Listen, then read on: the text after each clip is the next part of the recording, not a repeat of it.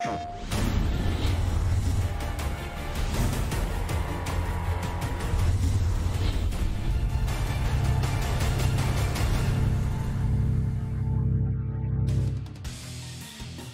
everybody, and welcome. My name is Ketchup, joined by my brother Mustard. I'd like to welcome you all once more to the PS4 Tournament's MK11 Open Series. But this is the monthly finals for October. Now, we may sound like we're inside a tin can. Don't worry. I don't plan on wearing this for very long. But It look, does sound like you are talking a bit louder than usual, I'm not going to lie.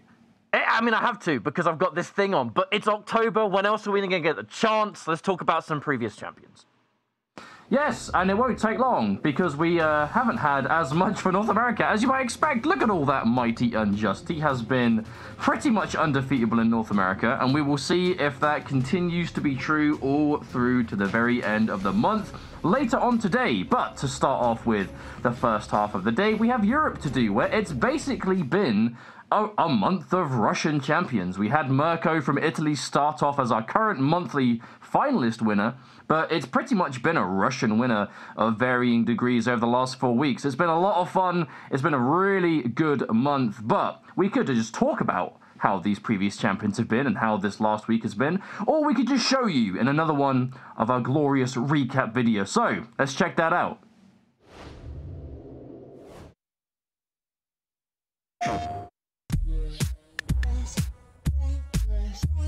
The European bracket started off with streamer extraordinaire Serious Hitman taking on Sui Frazier, a noob Cybot player that we hadn't actually seen in the Open Series for quite a while. Serious Hitman brought his newly practiced Terminator for the second week in a row, and the mix up seemed to be too much for Sui Frazier to handle. Val returned after making top three in their Open Series debut last week to fight Skarlet Specialist Makaran in their own debut. It seemed like the newer the player, the stronger they would play, as Makaran came out the gate swinging with a 3 0 victory. Dubasic and Asadamata had played many times in the Open Series, but this would be the first time since Dubasic had made the switch to Cabal. The mean streak was able to go toe to toe with Cetrion, but Dubasic would have to try another week to finally achieve his breakout Cabal performance. In the upper semi-finals, Makaran had another chance to show off their impressive Skarlet play against Serious Hitman.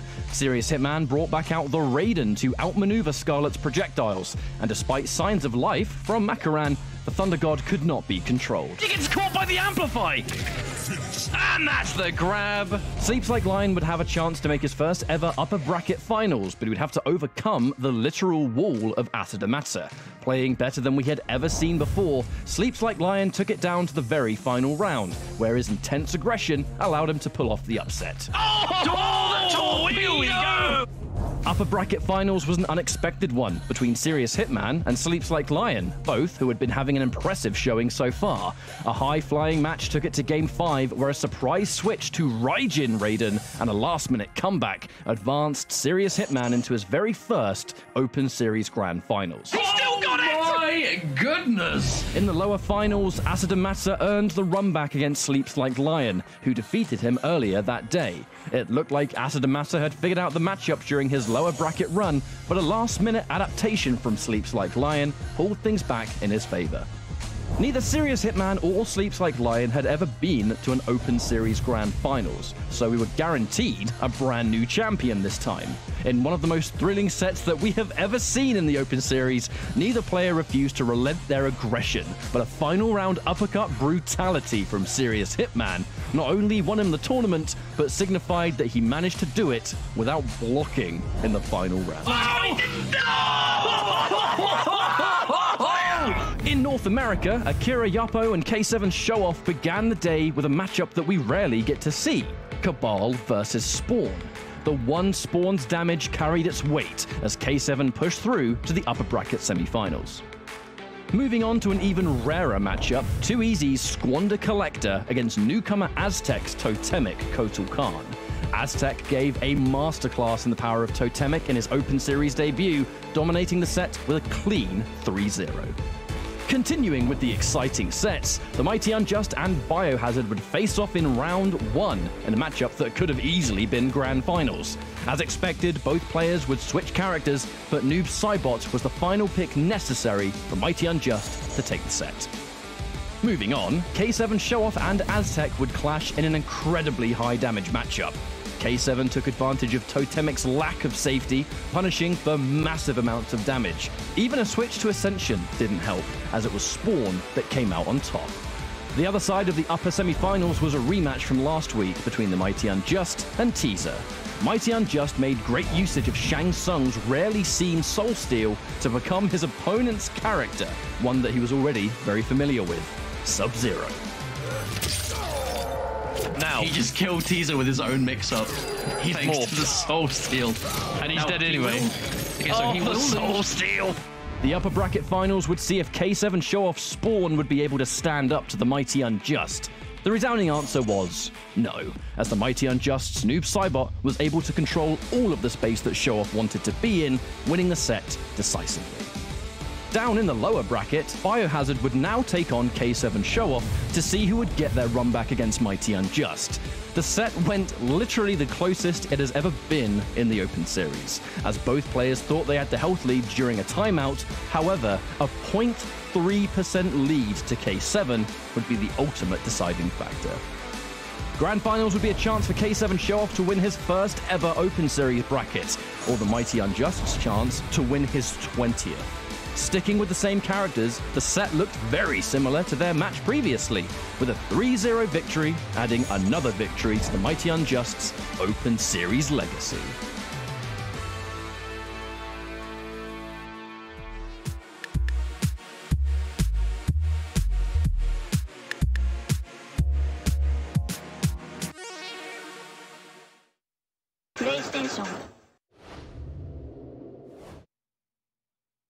So the monthly finals is a bit different to the invitationals. Players would normally compete every Monday in EU East and West and NA East and West.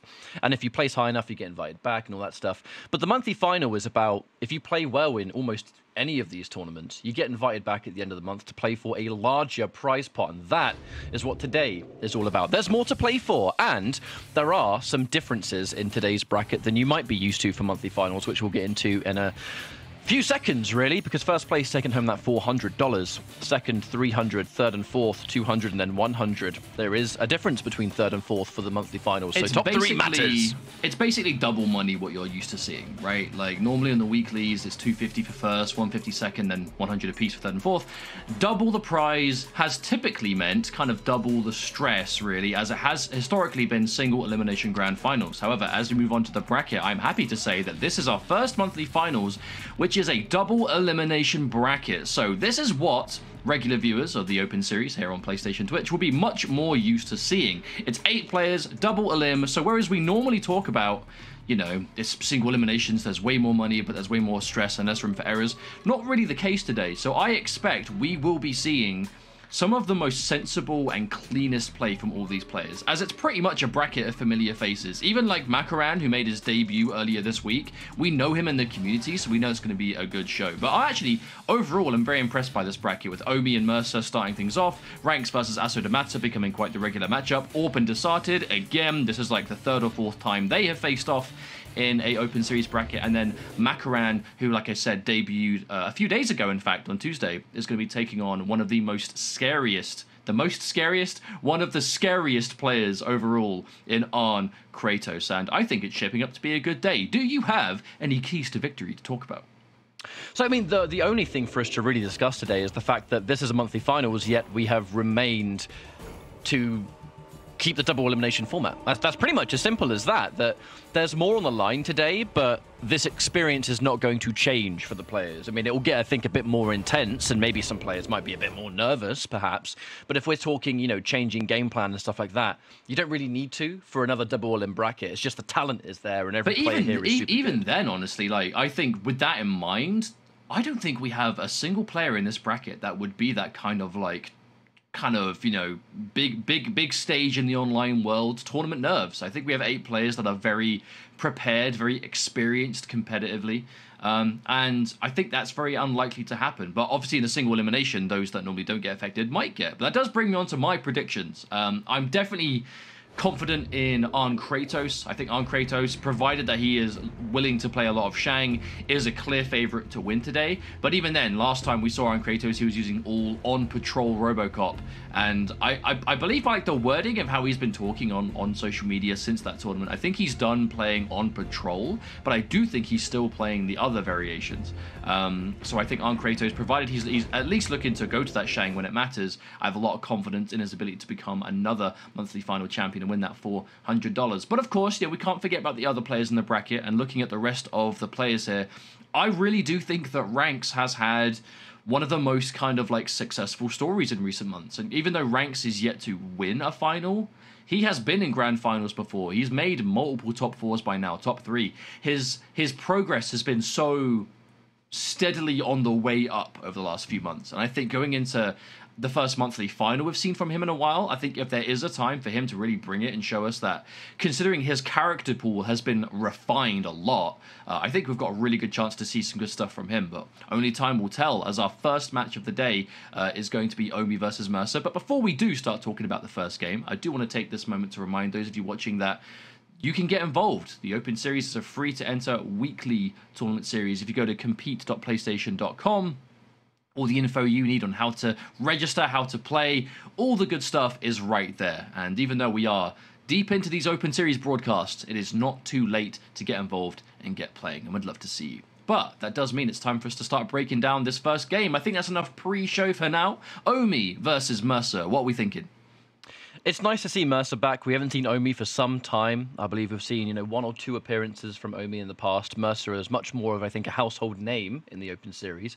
Uh, could very well be a, a, good week for Mercer. And, you know, I think Mercer has been able to have some absolute standout performances some weeks, and then other weeks he kind of just doesn't really make much of a splash. You know, I don't want to use the word inconsistent, but I think I don't really, I can't really think of any other word when it comes to Open Series because I mean, he always makes it. Honest, but it's how it's, he it, does in the Open Series that's yeah, up and down. But it, it's hard to make it into the the stream because we have to remember like there's only eight spaces per broadcast. There's oh, yeah. a lot more eight high level players that enter every week. I promise you that. So to even be here, you have to like grind for it on the Monday. And, you know, I have been looking at the brackets, and a, a, lot of the times, we haven't seen Mercer in a while on the stream, but he has been like one loss of the week. And that one loss has been to another player we would see in the top eight. And that's what the reason he's not there. You know, it is, it is a. It is a grind to get to the stream. However, Omi, you know, a similar kind of story, but much more known for that Dead of Winter Sub-Zero. Not as many top 8 appearances, but definitely a strong player overall. But very big boot happy. I want to point that out about Omi. A lot of reliance on that advancing forward four. Getting those plus frames, really respecting that turn. I feel like Omi, I think the last time we saw him, he did round start forward four, like, in literally every round that he played in the set. The thing about being extremely forward four happy is that incredibly clutch reactions from you know, the defending player. You can flawless block forward four quite reliably, and Mercer's flawless blocks are a big part of his game plan, so no doubt if he's prepared for that, he'll probably punish it. Now that's no confirm Ooh. from Omi, but a complete jump in for Mercer. I mean, that's just a best case scenario because I think he jumped just expecting him to stagger or something. He probably didn't expect the ice ball to be dedicated, but more of that forward four. Challenges the plus frame to the down one. Gets the jump challenge. No significant freeze yet. You know Mercer, he's looking for the mix. But you did take about clutch reactions and right as I can say it, we see that teleport instantly done on reaction to the ice ball. But right there, Mercer, if there is one player that you know might be able to like fuzzy that overhead low, he is looking for it already. Oh, I actually wonder if he went for a spear OS there with the jump kick. I didn't quite get it. Oh, either way, out. he's going to spend the 2-1-2. As you said, cash out, get that damage over time. The grab game just to make things scarier. This is a good lead to have. Oh, down one to challenge, but another neutral jump. Mercer not wanting to sit still right now, but when you've got this much of a life lead, and there it is, the flawless block you were talking about. Didn't opt to punish it with a flawless block attack, but the important thing is he's shown that he is doing it. Nice confirm from the low. Classic stuff with Sub-Zero. Got to make sure you're getting that. Not oh, entirely no. convinced that was intentional. I don't that was 100, no, that. that, was 100% a jump kick into a teleport amp, but he missed the teleport and still did the amp. Because remember, the amp button is the same as environment interaction. Just Absolutely. slight input error, but it has given Omi a big way back into this game. If he gets an ice ball, it's over. He doesn't have. Well, he just got it, but won't matter. Second bar is there. Yet Mercer spend the fatal blow. Not really necessary, but you know what? If it guarantees the round, it guarantees the round. And it does. And considering it's round two, no, it's round two as well. So easy execution. No way you can mess it up. You know, famous last words. I know commentators curse, but Mercer going to happily take that first game. Now, if we're to break down that one single game alone, it was just Mercer being very confident in kind of just slipping out of a lot of these up close situations. Lots of wake up jumps, lots of neutral jumps, and Omi not being able to contain Mercer. But that's what Mercer's known for at this point. He is a very tricky to put a lid on Scorpion, isn't he? And he does tend to run rings around some people. Hopefully, for Omi's sake, he's not going to be another one of the players added to that list. Um, well, no, but I, if you're going to beat Mercer, you have to control him.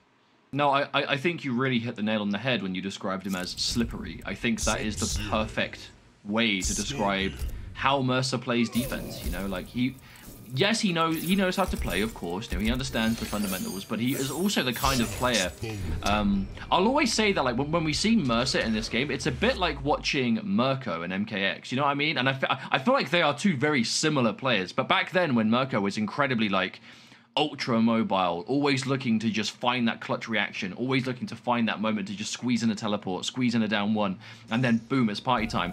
That is how Mercer plays, but Mercer has been able to make that style work in MK11. That's been the big thing about Mercer right now, is Mercer has taken that style and really like seized it eh, with a character that a lot of us didn't think would kind of fit it in a competitive sense. But Mercer has really been able to blend this slippery, very hard to pin down, ultra mobile Scorpion style. And it works out for him very well as we find him with a, a one game lead here in his best of five. However, Omi with the preemptive jump kick tries to confirm into deep freeze, but a lot of damage already dished out. The important thing is keeping Mercer in this corner position. And the second you limit those escape options, it becomes much better for you against someone that's constantly trying to... It's easier said than done to corner Scorpion. That teleport oh, yeah. cancel. All he needs is a button on block, he might be out. I mean, there's a oh, reason... Startup. There's a reason Mercer uses Reborn as his main variation. You know, it complements the style of play so well. He's not about heavy hitting damage. He's not about anything except for mobility because that's the tool. That's the magic tool that makes him effective and competitive. But round one is going to go to Omi all the same not having to spend too much of his resources either. You know, he's going to build back that offensive bar, goes for the back-to-back -back down one, knowing that Mercer's going to challenge your Scorpion players. They do like to use that down one, don't they? It is one of the stronger down ones in the game. Scorpion does get to start some offense from it, so if you're going to have those those gaps in your attack, then you're going to get hit by those pokes. And you're going to have to play around it. Now, I like what Omi's doing here. He, he's not even remotely trying to, to, to throw anything in the neutral. He has a bit of a life lead. He can use it if he wants to, but right here, a throw is going to even things out a little bit. But there's a reason we're not seeing Omi go for like ice balls anymore, because how many ice balls have already been hit by those reaction teleports? He knows he can't throw them. Oh no! Whiffs a throw, unfortunately. That's a decent amount of damage for Mercer to get for one bar off that. And a lot, a lot of empty jumps from Mercer, and Omi is responding with a down one every time. I feel like Omi's trying to play it a bit safer, less commitment. And another throw. But with Omi's another throw comes... throws considering. Another throw comes another neutral jump from Mercer. Uh, there seems to be quite the pattern with both of them, but Mercer winning that second round. If he goes up 2 to 0, this is going to be quite a mountain to climb for Omi already. We've only just started the show. Well, I can I can see why Omi might be second guessing though, because right there, like right as Omi tries to actually press a button to add yeah these jumps, we're seeing Mercer neutral jump, back jump, non-stop. The second Omi presses a button to try and like anti-air him, that's when Mercer lets that teleport go. And some that of these teleports are on reaction, but some of them are definitely done on a read. And when you're into this kind of groove, you feel like you just can't press anything. Omi looking for the crushing blow combo. Hang on a minute, he gets a Loopable forward throw. Plus frames and the giant damage on the interactable. Uh, There's 1% should be dead. Yep. Oh, the flawless oh. block from Mercer. The clutch flawless block. If he Keeping brings this alive. back, if he brings this back from hang that on, escape failed. On. Escape failed and a fatal blow. Oh, oh Mercer could thinking. not resist the temptation of a long-range spear. If that spear crushing blow, that might have been the game, but Omi, he was smarter than that. That was just, he was neutral ducking at full screen for a reason. You'll go under the spear, you'll go under the teleport, you can hit him before he amps. Remember, Mercer was on Magic Pixel. All Omi was looking for was a down one. Now, Omi slowed that down big time. And I like the adjustment from Omi. He's being a lot less um, kind of well, overcommitted in the neutral. I feel like in the first game and even the first round, to a degree, we saw a lot of just a lot of a lot of ice balls, a lot of preemptive buttons, a lot of things that Mercer is going to look at. He's going to lick his lips. he's going to be like, "Ooh, give me these whiff punishes. Ooh, give me things I can teleport. Give me things I can jump at." You know what I mean? And Omi, a lot less of that in that second game. One game apiece now. I do wonder how today is going to go because for those of you that joined us on Tuesday for the last weekly in October, pretty much nine times out of ten in EU, our games went down to, to game five. Like it was, it was a grind through for the. How long was the Tuesday. show? It was four hours and ten minutes for an eight-player bracket. Yeah, it was. It was about four hours and 10, 15-ish minutes. Whoa. Even being over four hours for one region is definitely unheard of in open series. But when the players fight tooth and nail for it. Sometimes it's going to go that close, isn't it? Anyway, this classic 1992 matchup, Scorpion and Sub-Zero. I mean, you can't get more classic than this, really, can you? However... It's looking a little bit more advanced, but yes, that's true. Oh, but no, Omi, he finally got the duck, but no punish. Well, some of the tech still works, doesn't it? Jump in, anti-air teleport. Not so much an MK1 tactic. You know, MK3 started to develop that a bit more, but I love it's the classic. classic the classic. Oh, there's the overhead. That's not so classic. MK11. I mean, that, that, that's what we'll be calling the classic 10 years from now, is seeing Dead of Winter go overhead into EX. And we'll be like, oh, do you remember he could do that? yeah, I can't believe he could do it. Unless a Fatal Blow sitting there. You always get nervous. Down on life, but with Fatal Blow, it's, it's hard to say that Mercer's behind here. Because he can kill with any touch. He's got two bars. He gets a spear, a teleport, a whiff punish. Omi has a life lead, but he can't press anything. Uh-oh. When you don't press anything and you get thrown. Mercer teleporting himself into the corner and doing a forward There it is. And that's the catch. Amplify. Bang! Omi, first round here. I mean, Mercer did put himself in that position. I gotta say, the cancel teleport himself into the corner. Not a situation you normally want to put yourself in. However, and he's looking for the cancels. Sees there's no button though, so he does cancel it. That's the scary thing about Scorpion players of Mercer's Caliban. That one he lets go, yep. Some of them will be preemptively cancelled, boom, boom, like boom. knowing you're going to block, but some of them like that. Just call it out. Mercer's almost done like a teleport on every single jump. Oh, and there it is, Omi. And that's all good damage. Oh, is this optimal? Oh, oh so good. at all. And he'd already used the 124 KB as well, so the fact that he got that on its own was incredible. 400 damage, and now Mercer in a pretty scary position, to be honest. He's built his breakaway, but a whole bunch of this damage is going to be unbreakable, and he gives himself on a silver plate. Wow. There's the Amplify and the finish. Omi, these flawless blocks, Mercer, I mean, there's one message to be sent here. Stop doing things that are flawless blockable, because he's going to punish you every time. It is where that interesting dynamic comes from, right? Like, just because strings have gaps in them that can be flawless blocked doesn't mean you should, like, never use them. It is always a player-dependent thing. Uh, uh, is the person you're fighting, are they flawless blocking the gaps? Are there gaps big enough to poke that they're doing? Are, are you seeing them try to flawless block and they're getting hit because they're messing it up? Normally, those are the kind of questions you kind of have to ask on the fly, especially for these characters that have a lot of gaps, right? Scorpion, a lot of gaps. Skarlet, um, you know, Baraka's 112. Like, th these real, like, these strings that are so core to the character's game plan with those gaps, you have to be doing that. But this is an example of Omi. He is he is flawless blocking forward 3-4 pretty much every time. The fact that both of those rounds ended the exact same way, especially when Mercer did, like, he's doing it after teleport cancelling as well. So he's getting rid of his defensive bar and then doing it. So he is making it as risky as possible, and that's what's kind of tripping him up here. So he either has to keep doing it, but save the bar for breakaway in case it is flawless blocked if he wants to, or just be careful and start adjusting. But considering he's down two games to one now, he's only one game away from this round one losers bracket. No one wants to be there. Ooh. Now more of the back three is starting to be enforced. Here's the jump kick's going to hit its mark. So Mercer cashing out some chunky damage, 30%. Just like that. Doesn't overcommit to the back one either does not want Omi to kind of give him a taste of his own medicine. Those neutral jumps, more back three, forever a back three moment, oh, and the flawless you know, we just block. said ridiculously going for those, those strings with gaps in when he has the bar. Now, I actually think Mercer, normally, um, he's the kind of Scorpion player we've seen to, like, go for those flawless block gaps, but, like, instead of finishing the string, he'll go for like spear instead, right? So forward three spear, forward four spear, anything like that to throw off the timing. And she does that against a lot of players he's familiar with. I wonder if it's like a, a, a technique that he holds back against. Oh no! Oh, he definitely thought he could whiff punish that. Okay, Mercer cuts the damage short. He didn't have the bar to extend, so he goes for the advantage. I respect it. Ooh. Immediate down one turn, oh, still button Now that, that is the Sub-Zero classic in this game. Poke into backdash, back three.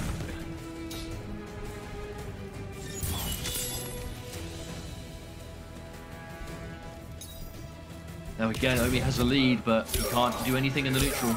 Unless he gets reacted to. Sits down, blocks and gets thrown instead. So it is an interesting game to play against Scorpion in this kind of scenario. Mercer Oh. trying to do back-to-back down ones again, by the way, getting clipped by Sub-Zeros. Instant jump in. Omi looking pretty prepared for that outcome. And he goes for the ender, the shoulder, just to keep it nice. Ooh, and the he rare usage. Oh, no, he drops dropped it! He did go for the optimal stuff. And here! Wait a minute. Fatal blow. It's a threat for Mercer. One confirm into it, and he's won the game on this. Omi dropping the combo. Could punish him quite significantly. Can't whiff punish. This is Dead of Winter, the cold shoulder. Slower than the regular slide. I think that's why Omi goes for so much big boot. Oh, there's a downward challenge, and there it is. Okay, Omi, he dropped that combo before, which almost allowed Mercer to bring the comeback, but the absolute silver lining is he kept the 124 KB that he was probably going to use. Oh, and now he's got it for round three. This is dangerous for Mercer, and there it is! Empty jump teleport. You know He Mercer just- is looking at you when he does that. He leaves the ground, and he is looking. Do you? Does he think you're going to press? Are you moving like you're going to at yet? Does he teleport cancel? Does he commit? You know his eyes are just locked. Speaking of KBs though, Mercer spending that 2-1-2, that damage over time ticking away. All back three moment once again, that overhead. Chunky advantage.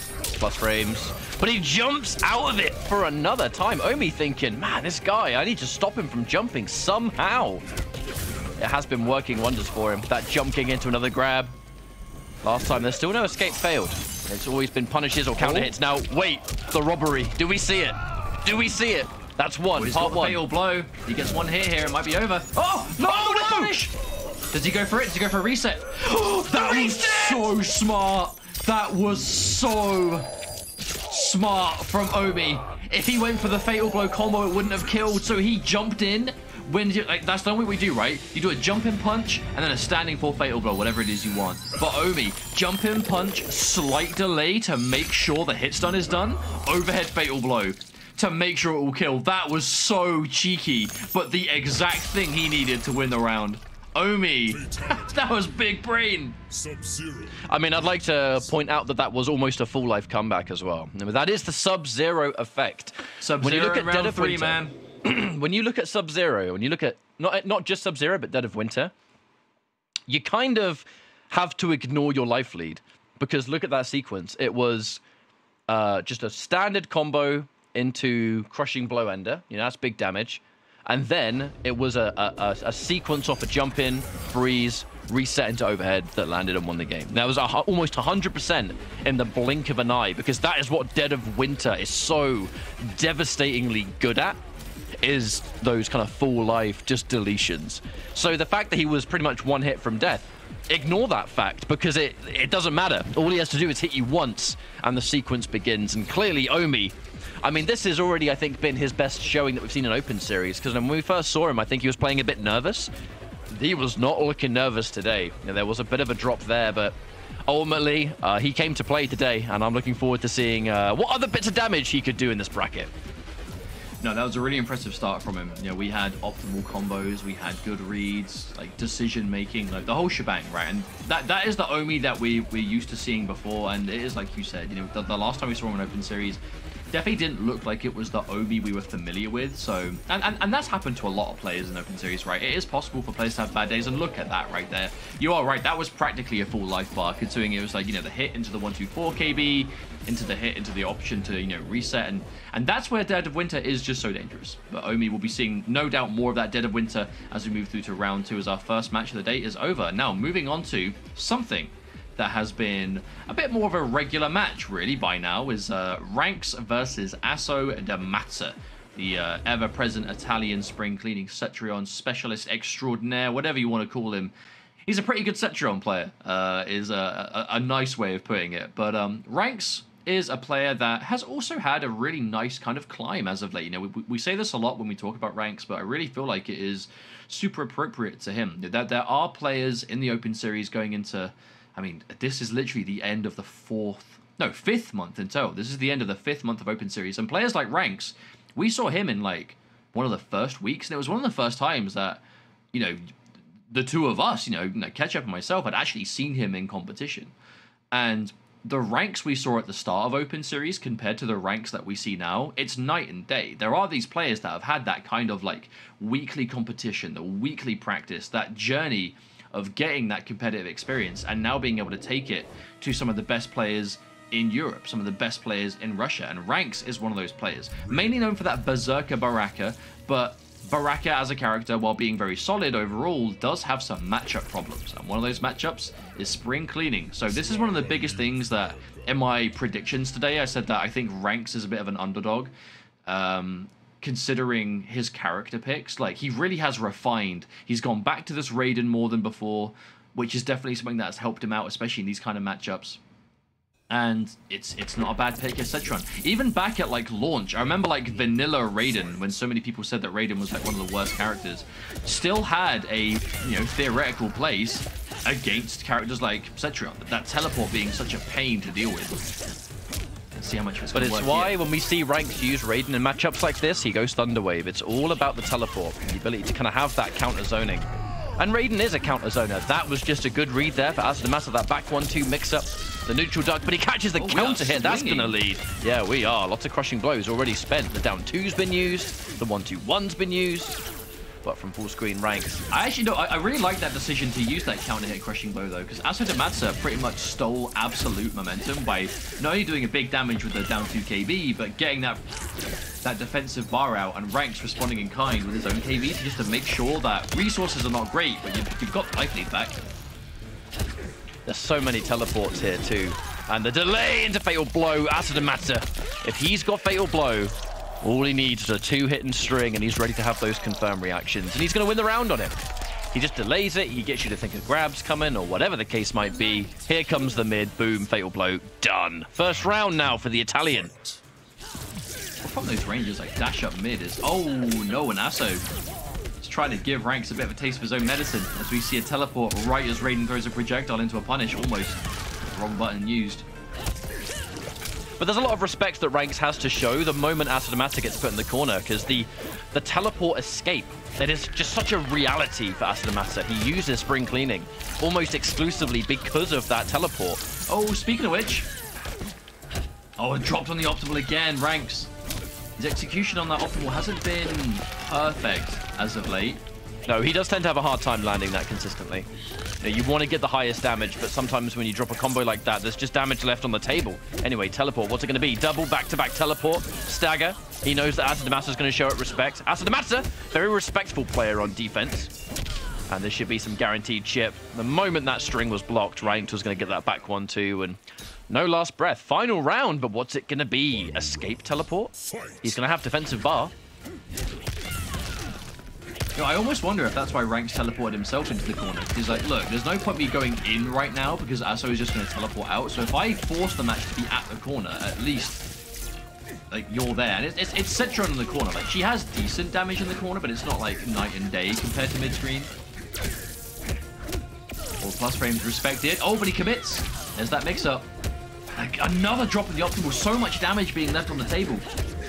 It reaches a point where if the optimal is not working out for you, you just need to go for something a little bit simpler to make sure you're getting damage. You cannot afford to leave damage and, and positioning on the table. You know, you drop a combo against that, Cetrion, she's out. That's the main. That's the main thing with Raiden, though. It's not even about the damage because that optimal doesn't add as much damage as you would normally think. But the important thing is just getting the electric fly at the end.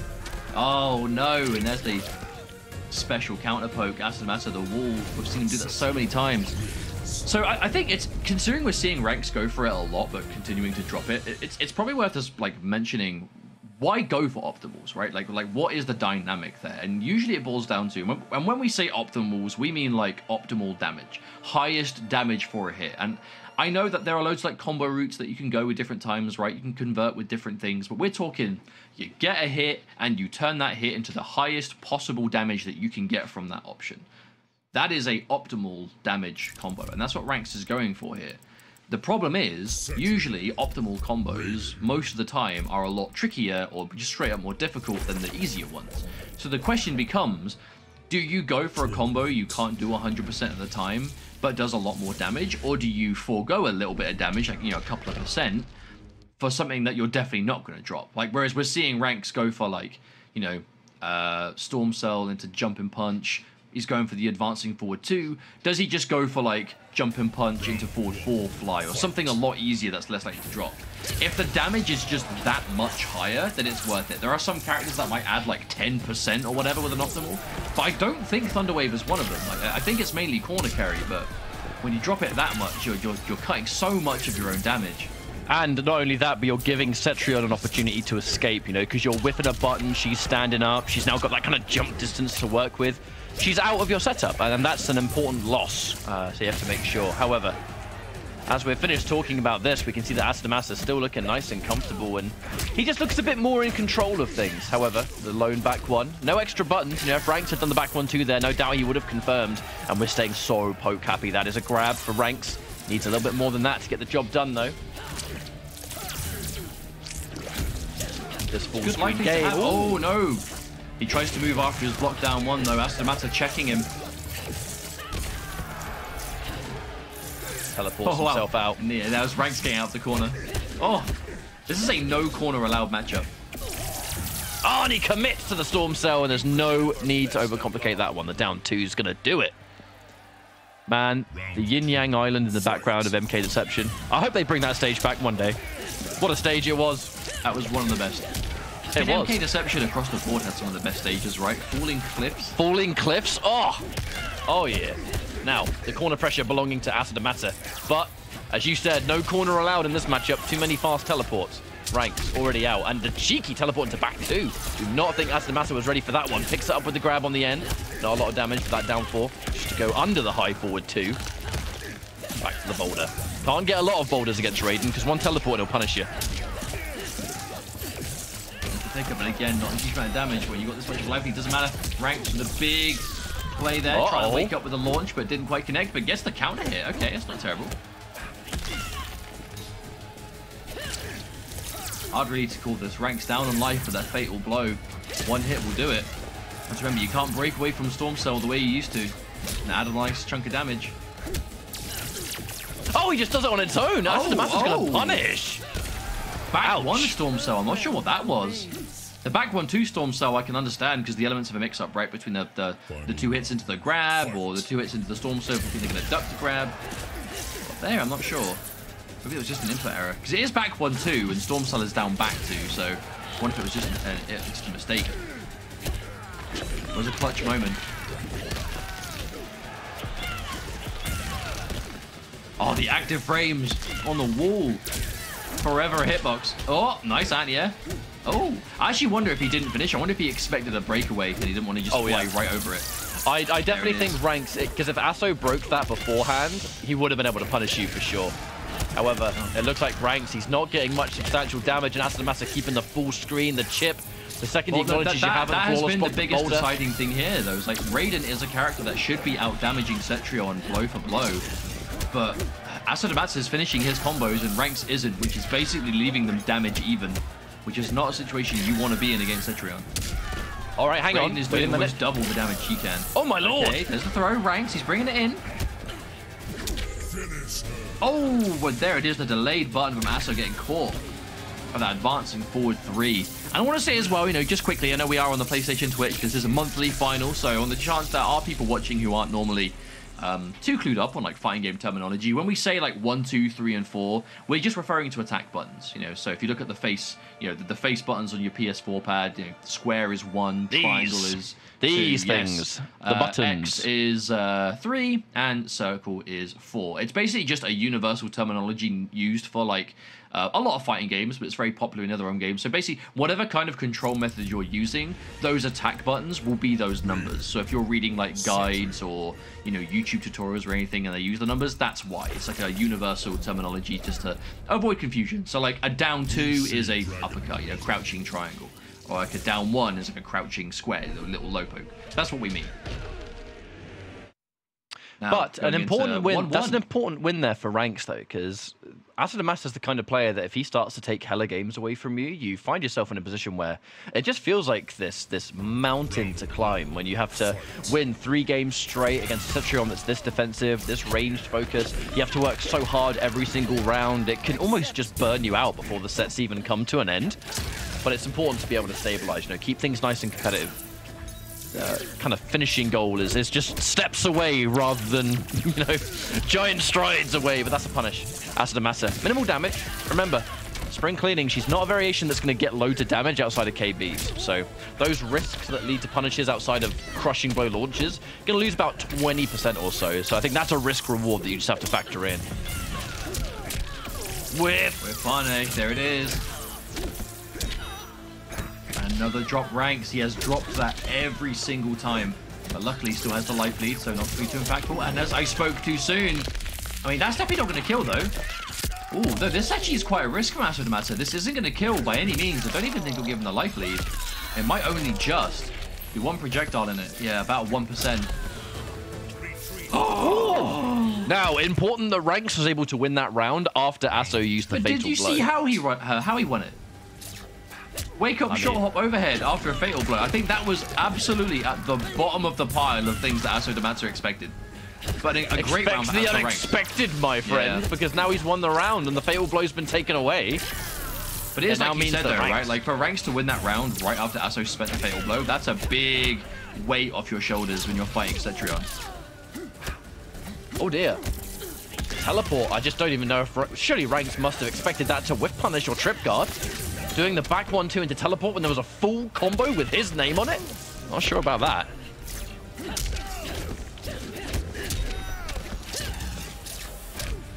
And now ranks. Teleport into down one, the cheeky tech, always. Oh, and now the pushback. So many teleports. Okay, now we're getting tricky. Ranks is starting to make the most of his teleport. Now the mid, but the respect again, Asadamasa. Back to back. Not even trying to press his Aso. There we go. Oh, big whiff. No punish. Oh, and he finally pulls the trigger. That was the fifth one. Not in a row. But after doing the four, he's going to finally let it rip on the fatal blow and ranks now up in games. You're probably asking yourself, why did Asadamasa just sit there and respect the back two, or the back one, right? That string, that two-hitting string. In the aftermath, the current version of Mortal Kombat 11, uh, there is some, there are some elements of kind of built-in mix-ups that you can do from Raiden's two-hit back one-two, where he does the punch and the punch. There are follow-ups that he can do that if you get the right read or he overcommits to something, you get a giant, giant punish. So yeah, what so... Master's doing, he's just waiting for expecting ranks to overcommit, and every single time he didn't. But Master bet that every time because if I block it, there's like no chip damage. And if he overcommits one time, I get full punish combos. So that was again risk and reward, just calculated. But ultimately, that fifth time in a row, you know, blocked it no, four but, times. But, but here, here, here is something about the risk reward, however, and this is something that Aso Damatsu is doing a lot. He's actually getting opened up by a lot of these like back one two storm cell, back one two fatal blow. We even saw just hit there. The reason that's hitting is because the real change is Raiden's back one two grab string. The grab is now actually a, a true grab. If you're blocking, it will throw you, but it's a high. So it's like a 10% throw, and if you duck it when he does it, you get a full punish. You know, crushing blow if you want, counter hit, whatever. But it's 10%. It is a question of, do you keep blocking and take the 10% grab, waiting for the unsafe mid? Because Storm Cell is mid-mid-high, so you can block it and punish it. Fatal Blow, unsafe mid, so you can block it and punish it. Aso is calling out the mid in a lot of scenarios where, uh, it's calling out the high in a lot of scenarios where the high won't kill, but the mid will. So there are a lot of situations where he can afford to take uh -oh. the throw, and he can't afford to take the mid, boom, but he's still expecting the high. Ranks still. I mean, this is his oh. game to win at this point, and he's just keeping it simple now. He wants the damage and the corner pushback. Ranks, the text there from Asadamasa. So much damage has been dished out. Now, you talked about optimals right there when he got Storm Cell. That was just raw jump in Superman. He wants to say, I'm done dropping these combos. I want to be on match point. No, but look, but I want to get the win. He cuts his combos mm. short, and that's a dominant win. You get the corner carry, you get more damage than you would if you went for the optimal and dropped it. That's that's why it's important. And there it is again. The Raiden teleport effect. Now, this is where we are. You're noticing. He's gone, I'm, I'm so fed up of dropping this combo, it's just jump kick Superman. No confirm. Oh. They're down two. Asso, a little bit panicking, perhaps. Push back. I love the use of Lightning Strike. If you're going to jump in and do Hell's Wrath, the Lightning But Strike's is going to that- catch that- That's you. even that's an element to the matchup we haven't even been able to talk about, which we haven't seen it much. But Raiden can kind of go toe to toe in a lot of ranges as well. It's not even like just the teleport shuts down projectiles, and that's the matchup. If you want to play the range game, like Lightning Strike is good, the Straight Bolt is good. Like he has options. There we go, Asso. He's still down match point, but if he wins this, it's 2-2. Final round. Fight! But it's a good pick here for Ranks. We've talked about Ranks. His favorite character seems to be that Berserker Baraka. But if he was using Berserker against Spring Cleaning, I guarantee you there would be a significantly different matchup taking place. It's why It'll Ranks keeps by now. it's why he keeps this Raiden in tip-top shape, because when he needs to fight a matchup that absolutely Baraka will not do particularly well in, he has this answer that can pretty much counter zone the down one Storm Cell. The classic. And again, keeping his damage so simple.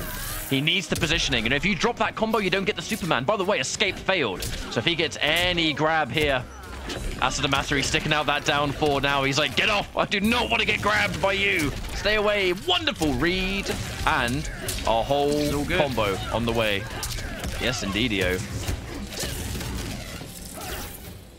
Let's guarantee chip to add on that. Still that fatal blow is there. And so, oh, throw. Hang on a minute. Oh, that's teleport to avoid! Wait, is that crushing blow? Is he dead? Whoop! No, not, not quite, right? Yeah, 1% off. Plus, plus frames from ranks! Oh, that was actually a really smart uh, time to go for that forward two. It's plus on block, guarantees the down one. So you're looking at forward two into down one storm cell most likely, just to get that last breath plowed through. And there it is, Kid Thunder. What a finish. Ranks playing that really well. And this this is why, in my predictions today, I said that Ranks is going to be one to watch. He has been working on these other characters. This Raiden that, when he... The first time we ever saw Ranks, he played only Raiden. And that was like four months ago, I think. Maybe by now it was a long time. And then for months, we've seen nothing but the Berserker Baraka, the a Noob Saibot here and there. We've seen a Scorpion from him, but mainly that, that Berserker.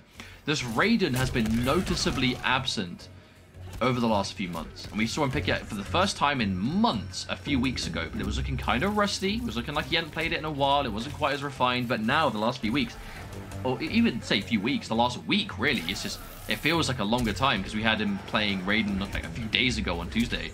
But, you know, that, that, that's what I'm saying. He's been working on this character, and for that reason, I think this Raiden is now back up to shape.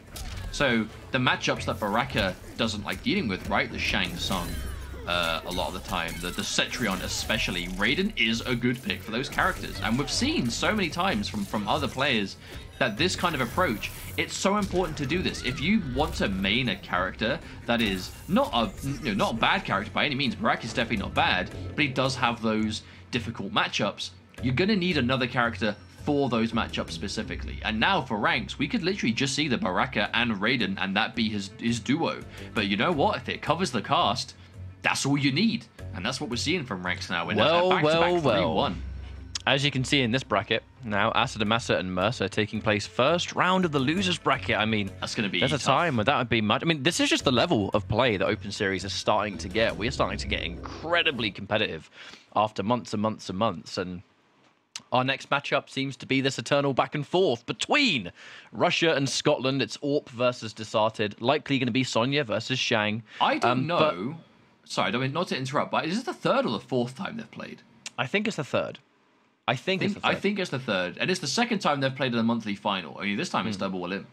So, the two players, I mean, there's quick breakdown here, I suppose, for those that might be tuning in for the first time. Desarted, a Shang Tsung specialist from Russia, but not the Warlock variation. Soul Eater, the one that's all about the morphs and the uh, the ninja swaps, uh, and he's been specializing that variation for a long time now. And he has actually A had while, a victory. yes. He's had a victory in Open Series. He's one of the premier Soul Eater players you can watch in the world, in my opinion.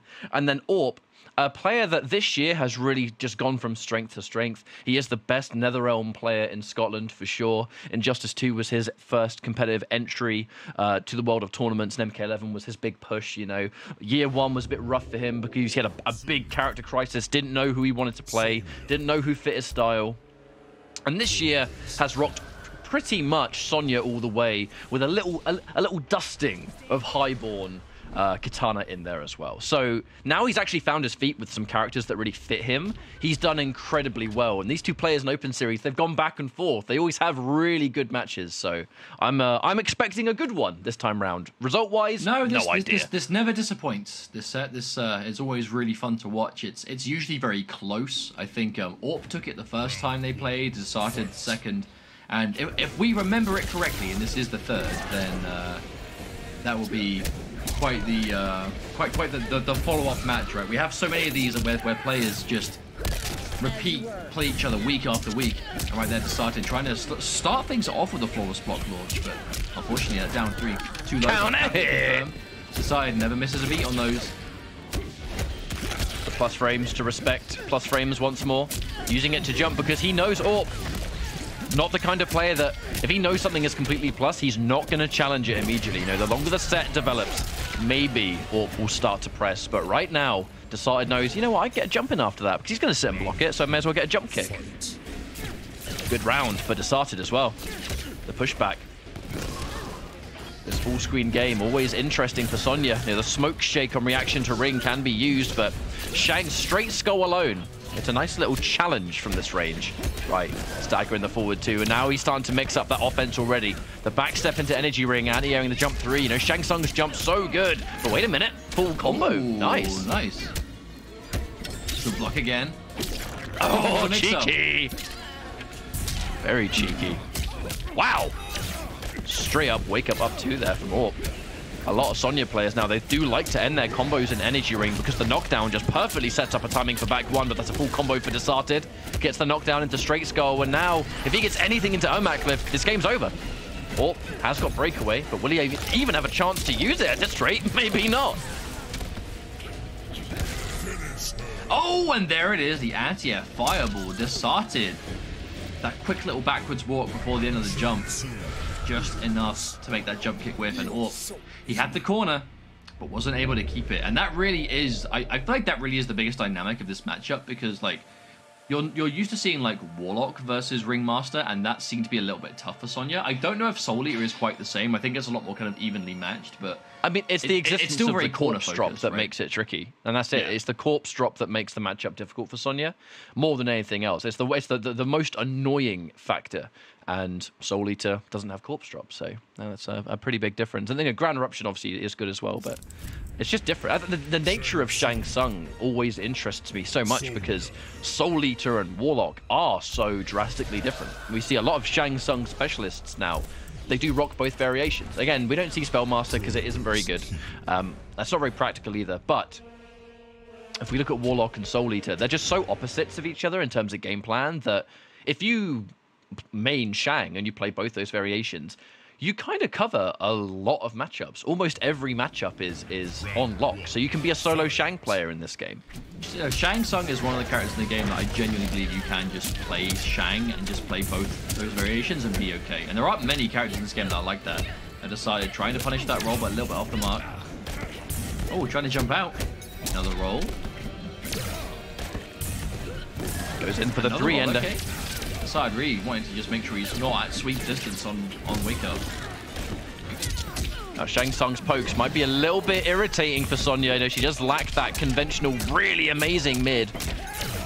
However, knockdown, energy ring to end again. The wake up down too. I mean, I don't think it was too much of a bad option because Sonya, if she's meeting you with buttons, so that back one, the back ones are high. So if she has you in the corner and she wants to enforce that mix-up of back one four or back one two, I mean, the down two is a good way of saying, nah, nah, nah, nah, nah, nah, nah, you can't just high me on wake up. I mean, also the point as well that Shang Tsung's uppercut is like, was it like nine frames, ten frames or something? Like, it's one of the faster down twos. So if you think someone's going to meet you with a high from a range, there's no way it's going to jail, then yes, wake up with that 14% button. I mean, more against Sonya. She has 5% less than everyone else, right? That 140. Bit more impactful. with The interruption, there it is. Not close enough. No, oh, slight misjudging. Bit of his own wake up. Oh, and thrown out. That's probably going to do the round. Bam! Desarted back to the wall. No defensive bar. Cannot get opened up by that mix-up now. Or You know probably wishing that Sonya didn't just do a backflip that far away. In between rounds, to be honest. Probably wishing that we start the round a bit closer. The smoke that's shake, dangerous. preemptive. Oh, that would have been nice. Ah, looking to pick it up. We're punished. Oh, but he catches it. Full combo. Boom, boom. Here we go. And the knockdown, 38%, just like that. Expecting disrespect, perhaps, from Desarted for another time. Ooh. Interesting play there. I mean, I'm pretty sure Sonya could probably do a single back one in that case and whiff punish. I imagine that is some tech there. However, with the fatal blow, locked in! Oh, dear! Uh, good to respect it. Good to respect it. If Orp tried to break that, he would be in much more worse for wear. Yeah, if he broke, yeah, she might have died from the armor break. But he's still not in a good shape, but he's alive at least. Now, what's it going to be? What's it going to be? Boy from Scotland, big trouble. But a fatal blow in a dream. He's got the bar, but to watch out. He can't trade a single skull. There is counter hit. Tried to go for an energy ring, but did not work out. Desarted now sitting at 2-0. Desarted. Really, the Soul Eater play getting better and better every time we see him. You want to really know why? is. You want to know my theory? Why is that? Because he won? Yes, indeed. I've said so many times. So I think I just seen- stole your thunder. I just, I, I, I- I should have been like, what's that? What is your theory? But then I kind of just said your theory. So now you don't face slap into you're joking but no basically we've said so many times and it has actually become exceptionally prominent in open series that when a player gets a victory you know Desarted has recently won an open series it was a couple of weeks ago he took first place when a player gets a, a big win it just tends to be from that point on they place higher than they did before permanently and a lot of the reason for that is a lot of players, there is that small bit of self doubt or nerves or whatever the case may be that prevents you from hitting your absolute potential as a player. Once you get that big result, the confidence just erupts inside you. And every tournament you play after that, you just tend to have, you believe more in what you're doing. You believe more in the buttons you press, the combos, the confirms. And now Desarted like, is playing better than ever. I Oh, almost ah, he's wonder looking if for the it's crushing blow. Yeah, I almost wonder if it's like almost like a you feel like you've you've already won an event, so like what what more do you have to prove, right? And from then on, it's just a question of trying to do it again. I think when that is your goal, it's a lot less of a a, a, a heavy weight on your mind. But even then, though, Desarted is still sitting here at 2-0. This is a good lead to have. Like they're close. They're two close matches, or at least the second game was close, but close does not matter. Desarted is the one winning. And that's Orp as well. He's, he's committing a lot less to that kind of like, ooh, hello, hang on a minute, there's the knowledge. Interruption. He did try and do that in the last game, but um, he did get counter hit. Yeah, so I say counter hit. The second energy ring actually hit him and crushing blowed, but there's definitely some tech there. Orp getting the knockdown. Now, although Desarted is in dominant control of the set, Orp has done a reverse sweep against Desarted before in this exact same fashion. However, it was a while ago, so no, definitely different types of players now. And that's the crushing blow, the second hit connecting on its own. Orp all over the place to the side, Everything is really out, trying though. to. Every he's just trying to wiggle out. is landing. And now Orp's meeting with the mid. A little bit fed up, perhaps, of. Uh, I say mid. I can't remember if that's a low or not, but it kind of serves the purpose of a mid Hey, to shut is- down the it- wake up it button. isn't a high, that's what matters. And not Uh-oh. again, Orp makes the That's same mistake. Two games back to back, getting chopped. Oh no!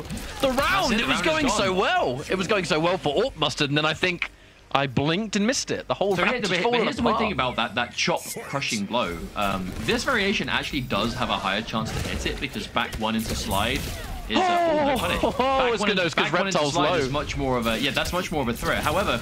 You can't go into back one slide on whip, so if the back one doesn't connect, the only thing he can do is the overhead. So Orp keeps getting clipped by it in a range that he shouldn't, and get another wake up button. The block on the low. That is the more safe option. So Desarted, knowing that Orp is going to play it safe, doesn't want to make a mistake and end up losing the entire life bar again. Oh, the raw lift. know, sometimes you can see a block late from that lift at that range. Orp going in the grab. One more potential mix. The anti-air. Amp with energy ring. Desarted's going to get clipped. And Orp.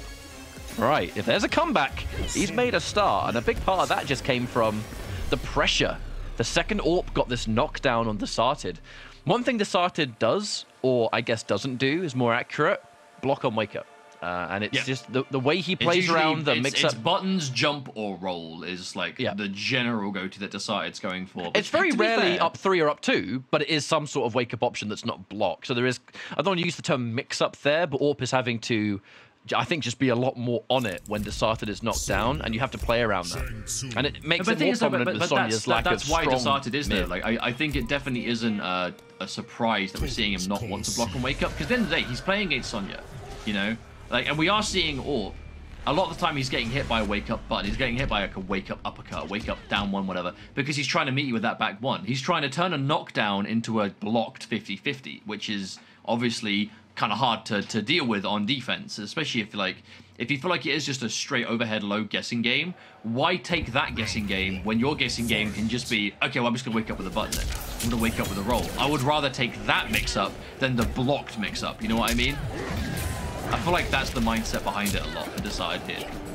Oh, but he misses the end. Missing the uppercut is where the bulk of that damage comes from with Soul Eater. Oh, but he walks into it. Counter hit confirmed. Desarted. Always paying attention. Back into this mid-screen game, the Ermac lift. Such a good air-to-air tool when that jump lands. And it looks like he's just getting immediately clipped. The meaty back three is going to come out Desarted. These have been some fast rounds and a match point already for the Russian player. We'll see if he's going to finish this one off. Or a lot of work to do. He has been able to pull off the reverse sweep against the side in the past, but Desarted, there is this newfound confidence and everything is working. Plus frames. Maybe better out this time. Commit. Oh, no big punish. Could have been a lot more. This time it oh. works. This Bang, might bang. for fatal blow. No. He's almost in territory, but not quite. Okay, this will put him in fatal blow, but it's also going to give him not a great scenario to be in. Almost at throw kill territory.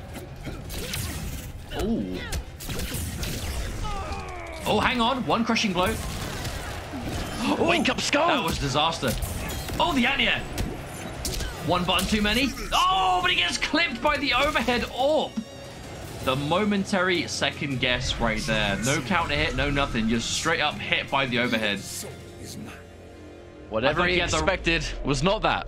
No, he had the right idea there, though. He got like the hit into the the one three fatal blow, but you know, hindsight being super easy. But like standing one fatal blow would have caught the armor break. But that's that's the that, that is the mind game, right? It's I've launched you, I have fatal blow, I can cancel into it at multiple points. You have to choose when am I going to cancel and then break away accordingly. And uh, Desarted, he broke away at the right time, avoided the fatal blow, sealed the deal, got the round, and Desarted for another time it's going to be advancing through. And another 3-1. Have we done only 3-1 sets today? I actually think that has been the case, back to back to back. Well, we have one more match after this. And we're going to find out what the kind of next round of winners is going to be. But I got to say, there's just when you watch Desarted play, there just seems to be this newfound confidence. Um, there's just this intensity behind his gameplay that's just a little bit faster, a little bit snappier than it once was. And he just seems to get better and better every week. The Open Series has done so much I believe, for Desarted that has allowed him to really excel as a player. You know, it really can't be understated just how important weekly competition for these kind of players is because they just get practice, practice, practice. Now, online and Kombat League and everything else, it is a good way to stay in shape, but when it comes to being competitively seasoned, that's where it gets important. Mercer with a 3-0 on Asadamasa. Asadamasa already out of the monthly finals. We'll be maybe seeing Mercer later if he makes top four. But our next matchup I hope you like Skarlet because there's going to be plenty of it in the form of Makaran, the Austrian Skarlet specialist who really made quite the name for himself. Uh, I would say last week, a few days ago, actually, in the final weekly for October. But he's going up against the best. Now, if we're talking about Europe and CIS in the Open Series, Arn Kratos is the most decorated, the most seasoned, and the most successful player when we're talking about entry to win ratio. So Makaran, I think he has his work cut out for him here. Arn Kratos is playing no I mean, games. uh, he is if, going if in we're for the talking Shang results, Tsung. the, Like- the worst, the worst Arn Kratos has placed in an Open Series Cup is second. Indeed. That is the And worst he has ever played. not he only- won almost everything he's entered. Not and only the ones he hasn't, he won. He got second twice. not only is Arn Kratos the best player in Russia, but he is, as far as I'm concerned, one of the best Mortal Kombat players in the world. You know, I truly believe that Arn Kratos is right up there with the Foxy Grandpa, you know, the Fox, the Ninja Killer, the Dragon, like that caliber of top of the food chain. Arn Kratos, as far as I'm concerned, is right up there as well. And we have I, know, seen. I, I, I, I feel like a lot more people would be sharing that opinion if Arn Kratos didn't have that unfortunate uh, start to pro competition last year, where the Travel one event, woes for Yeah, days. the, the one event he could do and play in, he got third place. He Well, I mean, he was meant to be a at Brazil game show. event. It, it- it was meant to be a Brazil game show, but he got absolutely just on the worst end of the worst like travel luck you can get, where flights were delayed. Wasn't he meant to be East Coast Throwdown as well? I heard. No, he was meant to be at. um I heard he was at EC. was, he was going to be at ECT and had similar problems. I know he was meant to be at NEC, and no, no, uh, it was one of them was like intent, intended, but wasn't. It was one of one of them. But the, the, the real tragedy was Brazil Game Show just didn't happen. But Rise, we can say that know, we've talked about how good and how uh, impressive Arn Kratos is Makaran. We've only seen him in one Open Series tournament, but he is a very he is like one of the best Skarlet players that not a lot of people have heard of. You know, he is from Europe. Good punish, the knowledge, and yes, he actually might be dead. Oh, not quite. No fatal blow spent. Makaran Skarlet really is super impressive and oh, just frames off. Frames off getting that win. And Makaran, very dedicated Skarlet main, like you said, he is from Austria. Really started to compete properly for the first time last year. Getting really far at both Celtic Throwdown and Viennality.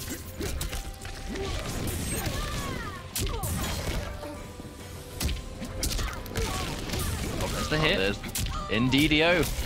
If we're talking about Skarlet, she just has to play so methodical every single step of the way. She isn't a character you would ever really say, say has any dirt.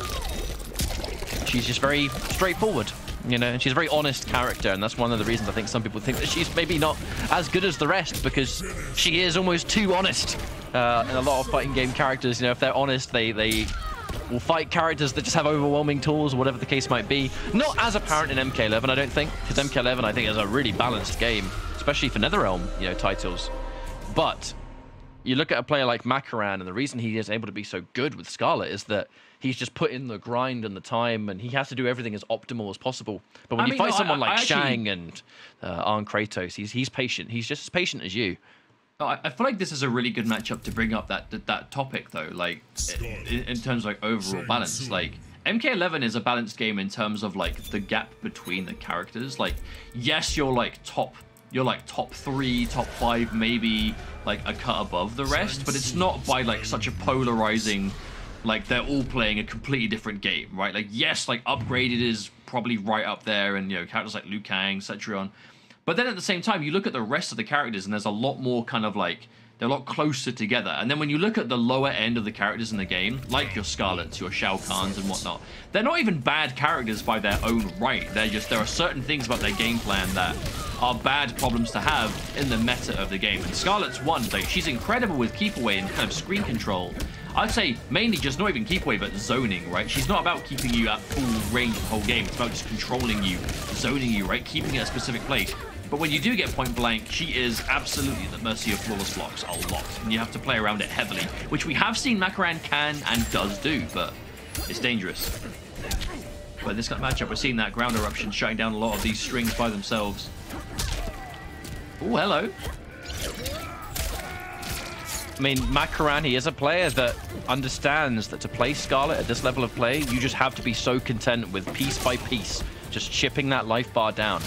You do have the opportunity for big damage if Fatal Blow is locked in, or maybe you get a crushing blow or something like that, but because she spends so much of the game at this range, you have to be so patient with everything, and there's the immediate ground eruption from range, and the perfect jump in! Oh no, Makaran! All that work for one good jumping on. Kratos is going to get big damage for this. Might even be the round, to be honest. No, How quite, much is it going to do? It'll be The problem close. Macran has no defensive bar, so this is going to be hard to avoid chip-wise. Oh, but there it is. Now that is a absolute win for uh, Macran, because that was the fatal blow now gone on Kratos. But look at the whiff recovery. He had time to empty jump and then do a ground eruption. Goes Still in for the micro duck. He goes in for the micro duck and gets hit for the 1-1 anyway. Instant jump out of air. No punish. However, it's going to allow Uncrave to get a little bit of a heal. And there's the big teleport. Heal into more. The cancel to bait the button press, perhaps. And now Makaran, just like that, in it. Looks for another micro duck, but for another time gets just hit by the 1-1 overhead. The wake up these decisions. I feel like all of these jumps from Arn Kratos, like they have all been at like the perfect time. Like he reads a slow button, a slow projectile, whatever it is, right as he jumps, and it's like every time he's bang on. You know why? Because Arn Kratos himself is such an intelligent zoner. He kind of has a sixth sense for when you're going to throw a projectile, because he'd probably throw a projectile there too. You know what I mean? Oh, Uh-oh. scoop. That 1-1 has been a real problem for Makaran. Okay. Goes in for the teleport because he knows there's a break. That's smart. The next layer. If you know they're going to break and you can't heal, teleport. Reposition launch in the corner. That's a restand. Plus frames. Arn Kratos getting launched Oh, again. again. What's it going to be? Short hop. Any more? Empty throw. The tech from Arn Kratos. The release. The tech. Release block on the jump in. Arn Kratos, a master of that tech. Oh no! Oh, we tried to Anya, but too late. The grab again on Kratos. He actually might have already won. I don't think he can avoid the chip. Oh, the crushing blow that you will never ever see again in tournament. I promise you. Oh my goodness, Arn Kratos. Let's uh, let's talk about what allowed that sequence to take place. By the way, and it's a specific piece of tech that still to this day a lot of players don't use, and it was tech that uh, Sonic Fox had originally started to talk about and pioneer, and more and more I'd players. say about mid last year, use it. you know, so Yeah, like yeah, not right as the game was out. So- like it took a bit of developing, but you know, not super That's- brand new either. the tech of essentially when your opponent jumps in at you, what you do is right before the jump actually lands, you release block, and it kind of alters your hitbox. Um, It so if lowers you it. yeah, it lowers it. So if you release block at just the right time, the jump in pretty much just doesn't connect at all. It misses, and then you actually get to do something about the jump in. Arn Kratos is one of the few players that still, to this day, has been like relishing that tech. And it's the, it is what started that whole sequence. You know, had momentum, damage, damage, damage, goes for a jump in. Well, it's, it's, it's, it's jump not like misses. jump. It's not. It's not like jump kicks can't hit people that are crouching. But like the time that we are all like muscle memory used to doing jump kicks is at the best height for maximum block advantage on the way down, and at a height where people are blocking. Right? Like that. That is the timing most of us have, and that tech just kind of uses that timing against you. Oh, another big jump in again on Kratos. You said it before, he is one of those premier zoner players, so he's going to have that sixth sense when you're going to throw stuff at him too. The heal. But that was a close game, you know. By we are 2-0 up for Arn Kratos, but by no means is this over as far as I'm concerned. Uh, Macran, that corner sequence we saw, but a punish, unsafe overhead. Ouch. Oh, he definitely tried to interact. Speaking of which, oh, nobody dropped What? it. He must have tried to three up two and just got up two too early. Makaran an opportunity to come back. As long as Skarlet has the fatal blow, that potential is so real with the damage that she has. The flawless block on Wake Up. Last chance. Goes in for another jump in, but this time, another flawless block from Arn Kratos. His defense has always been so good. His flawless blocks are immaculate. His throw techs. Well, you'll know, notice you may he's look also at things doing like, like, the next layer of that release block tech. Like when he sees that the release block hasn't worked, he like does a flawless block. It's like almost like an option select. Where if he makes Oh, yeah. it a void and you still get a button out, then he'll flawless block it too. Forbidden String. Oh, wait a minute. Oh dear. Arn Kratos. Oh no. Trust no one, not even yourself. Big teleport, no punish though. Macran needed that. He needed that damage. A throw is better than nothing, but it's not what he needed to get back into the game yet. Ah, current 2-0 on Kratos. This is his Uh-oh. match point. Makaran. Having a hard time against this. And now if Corpse Drop hits on its own, that is a lot of damage that you do not want to take. And now anything will pretty much do it. There's the jump in, there's the grab, and the Soul Steal. I haven't seen this brutality in is ages. mine. Your soul is mine. It's because Foxy doesn't really play Shang anymore. You know what? That is exactly the reason. That's exactly why we don't really see this brutality. Thank you for bringing it back out there on Kratos. Thank you very much. But I mean, a dominant win for who is currently the best player in, in this part of the world in the Open Series, and that's been tournament proven. Uh, continues to just look incredibly strong. The fact that he's going Shang in this tournament, I will assume all the way, means he's a clear favorite. And uh, I think everyone else in this bracket, they need to make sure they're bringing their A game because Arn Kratos is here to play. He is not messing around, and Makaran will see if he can get top four at least. Well, it does mean though that we are. Excuse me, sorry, I'm just doing a stretch because I've been hunched over that entire set, and I should not do that. But um, that does mean that our second game to see on Kratos is actually going to be another one that we've seen a bunch of times in the past. It's going to be the eternal Russian Shang showdown between uh, Desarted, that Soul Eater, presumably, and uh, Arn Kratos for that Warlock, which is actually a, a mirror match we've seen numerous times. Arn Kratos has always won it, but the last time we, we saw them play, it actually did go down to like a really close game five. So, you know, we we have only just begun in today's European monthly Open Series final this October, and I think we've had some really good games, and we absolutely have uh, amazing ones to follow up as we're going to be seeing. Uh, just at the end of this, we'll be seeing Omi versus uh, Ranks. That's where it was. What I absolutely just drew a blank. It's going to be Ranks and uh, Omi, and a match that we actually haven't seen before, so that's going to be a fresh one. And uh, I actually don't know what to expect though, because Omi is like Dead of Winter 100%. I don't know exactly what characters Ranks will be using Raiden for, and to be honest, as much as we can talk about Ranks like looking like he's mainly a Baraka player with like the Raiden now to cover the matchups he needs. I actually don't know because when we first saw ranks, it was Raiden. So I wonder if Raiden has kind of always been the pick that he wants the most, and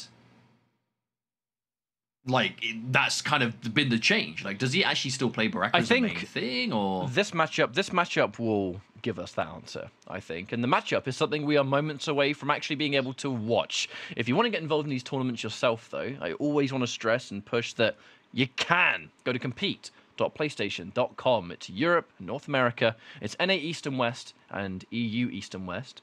If you are from that region, you can enter both of your region, by the way, West and East. A lot of players do. It's how they get into invitationals, and it gives you a better chance. you should it do? into the Is what we're saying. You finals. should do that. Yeah, absolutely. Because there's no, if you're going to play Mortal Kombat that day, then you may as well. But that is where our first round of winners is going to come to an end. But we're now going to go into our next stage of things. So thanks for watching so far. Whether you're watching on Twitch or YouTube, shouts to you, lovely folks. And we'll be right back with more Open Series monthly finals of October.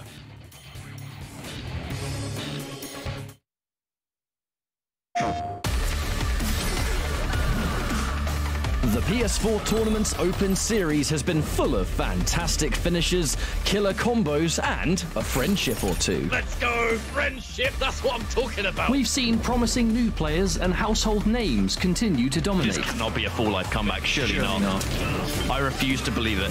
Oh, oh Marco, the reverse sweep! Do not miss a single moment of the PS4 Tournament's Open Series. PlayStation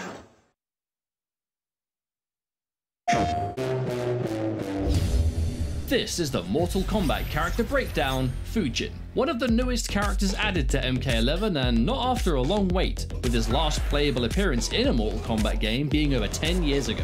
Fujin absolutely boasts some of the best mobility in the entire game. With his walk and dash speed combined with high speed special moves, he is a solid choice for anyone looking to be hard to pin down.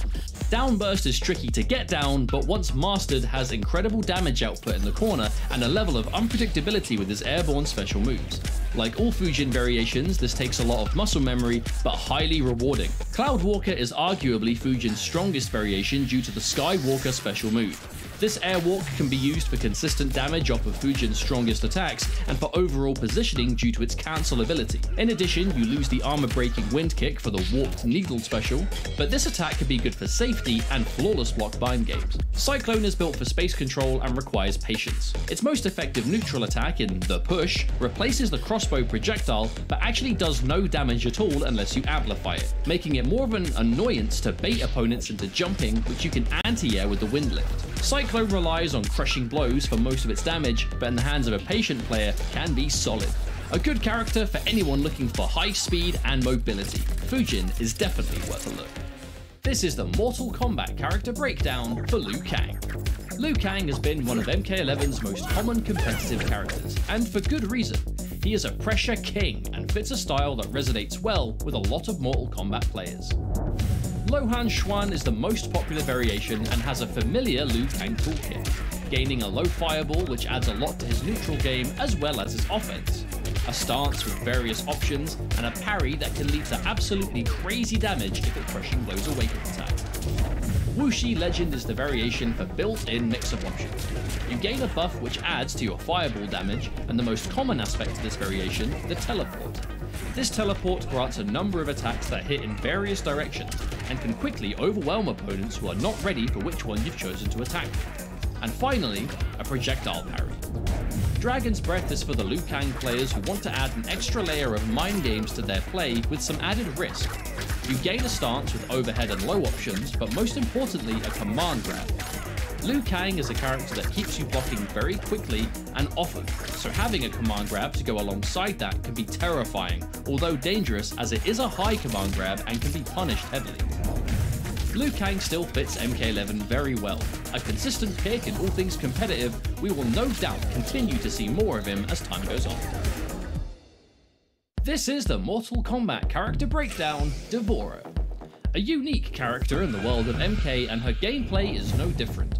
D'Vorah offers an experience that you can't really get with any other character in MK11. Overall, she has a lot of long range attacks which can be quite the headache for some characters, but where she excels in range, she is held back up close without spending a lot of resources, so you'll want to be careful with what range you decide to play at. Buzzed is one of MK11's strongest mix-up variations, due to powerful bug attacks that keep the opponent stuck in place, letting D'Vorah be unpredictable in her offense. Rather low damage, but good at keeping opponents on the back foot while you overwhelm them. Arachnophobia is the variation if you want damage and tools. The Widow's Kiss teleport can be used by itself as a whiff punisher, or confirmed into for high damage combos. In addition, she gets a strong crushing blow off her front throw due to the bugs that stick to the opponents in this variation. Creepy Crawler is highly unorthodox and high risk, but its mobility is powerful and in the hands of a confident player can be quite a headache for a defender. The biggest trade-off is gaining a fast overhead in place of the universal ovipositor stab, which typically serves as D'Vorah's main tool for safety, making this quite the risky pick. D'Vorah boasts distinct playstyles across all three variations, but can be a ton of fun if you blend well with what they offer. This is the Mortal Kombat character breakdown, Erron Black. This Outworld gunslinger has made quite a mark on MK and has changed a great deal in the various patches of MK11. Overall, Erron Black is a solid character, with numerous strengths that work to his advantage and three variations that all do very distinct things for him. 52 card pickup is rather traditional, giving access to extra options from the rifle stance, most importantly a launcher, as well as extensions to various strings, but the most notable addition is the Scud Shot, an attack that completely nullifies enemy projectiles and can even be used for damage. Barking Irons is more about mix-ups. Acid is replaced by unblockable dynamite, and Erron Black gains a command grab. Both of these together inherently make opponents have to guess on defense and gains a deceiving amount of damage. Locked and Loaded is the variation that gains Erron's armor breaking option, the Acid Pour. This attack has a strong crushing blow that triggers if the move breaks armor or hits while the enemy is standing in acid. This move is also safe on block, making it a strong option for making otherwise unsafe attacks safe. Additionally, Locked and Loaded gets a bear trap which can be used for setup. Erron Black is a character who has changed a lot in MK11, but a good pick for anyone looking for a character with strong offense.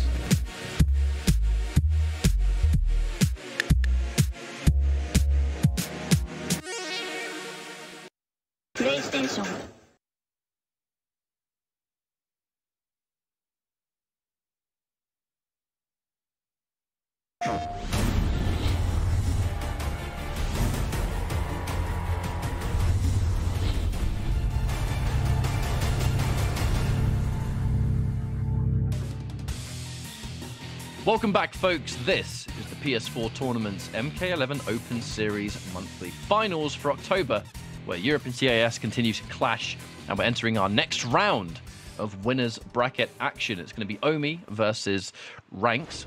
So I believe Omi currently located in Turkey, so it should be Turkey versus UK technically, uh, with how things are currently going. And then Desarted versus Arn Kratos is going to be a Russian Shang Tsung showdown that we've actually seen in Open Series before, so definitely not first here.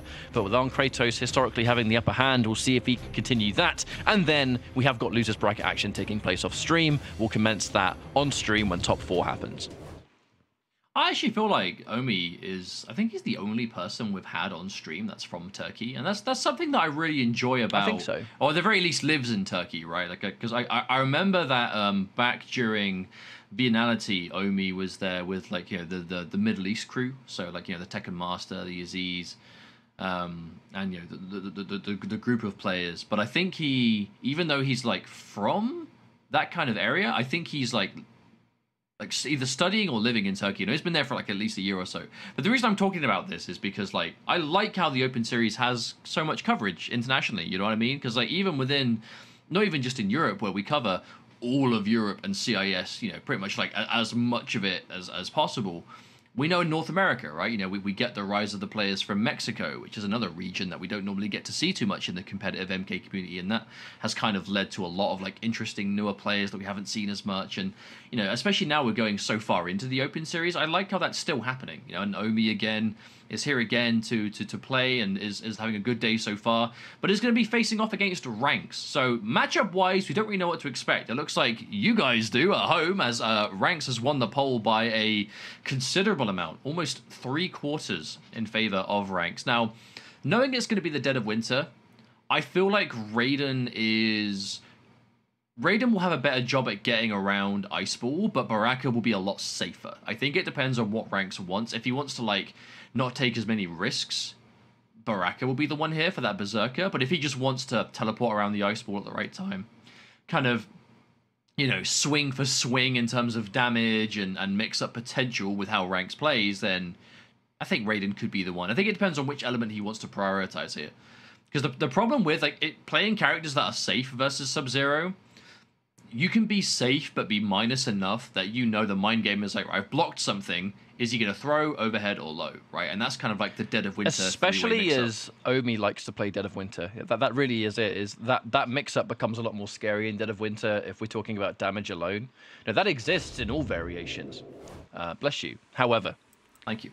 in Dead of Winter, it's just the pound for pound. That damage is real. Now, I guess this is a matchup where Ranks goes, I'm going to play Berserker. So we were asking this question before the break of does Ranks, has he made not a complete transition to Raiden, but is he favoring the Raiden? Because we've seen it a lot. I guess this does kind of confirm our theory that it remains matchup dependent. Baraka seems to be what he uses for a bunch of matchups, and then Raiden if he has to basically deal with counter zoning, which is what Baraka would struggle against. So the two person team at the very least, and the fact that we haven't seen his Berserker for a while excites me because I love a bit of Berserker. It's so fun to watch. No, like ranks has almost single-handed made me believe in this variation. You know, I, I think it really has been something that we underrated early on. I think the damage is not as low as we thought. The armor break ever since aftermath, this variation's been a lot better for that reason as well. Oh, but the commitment. And look, try this.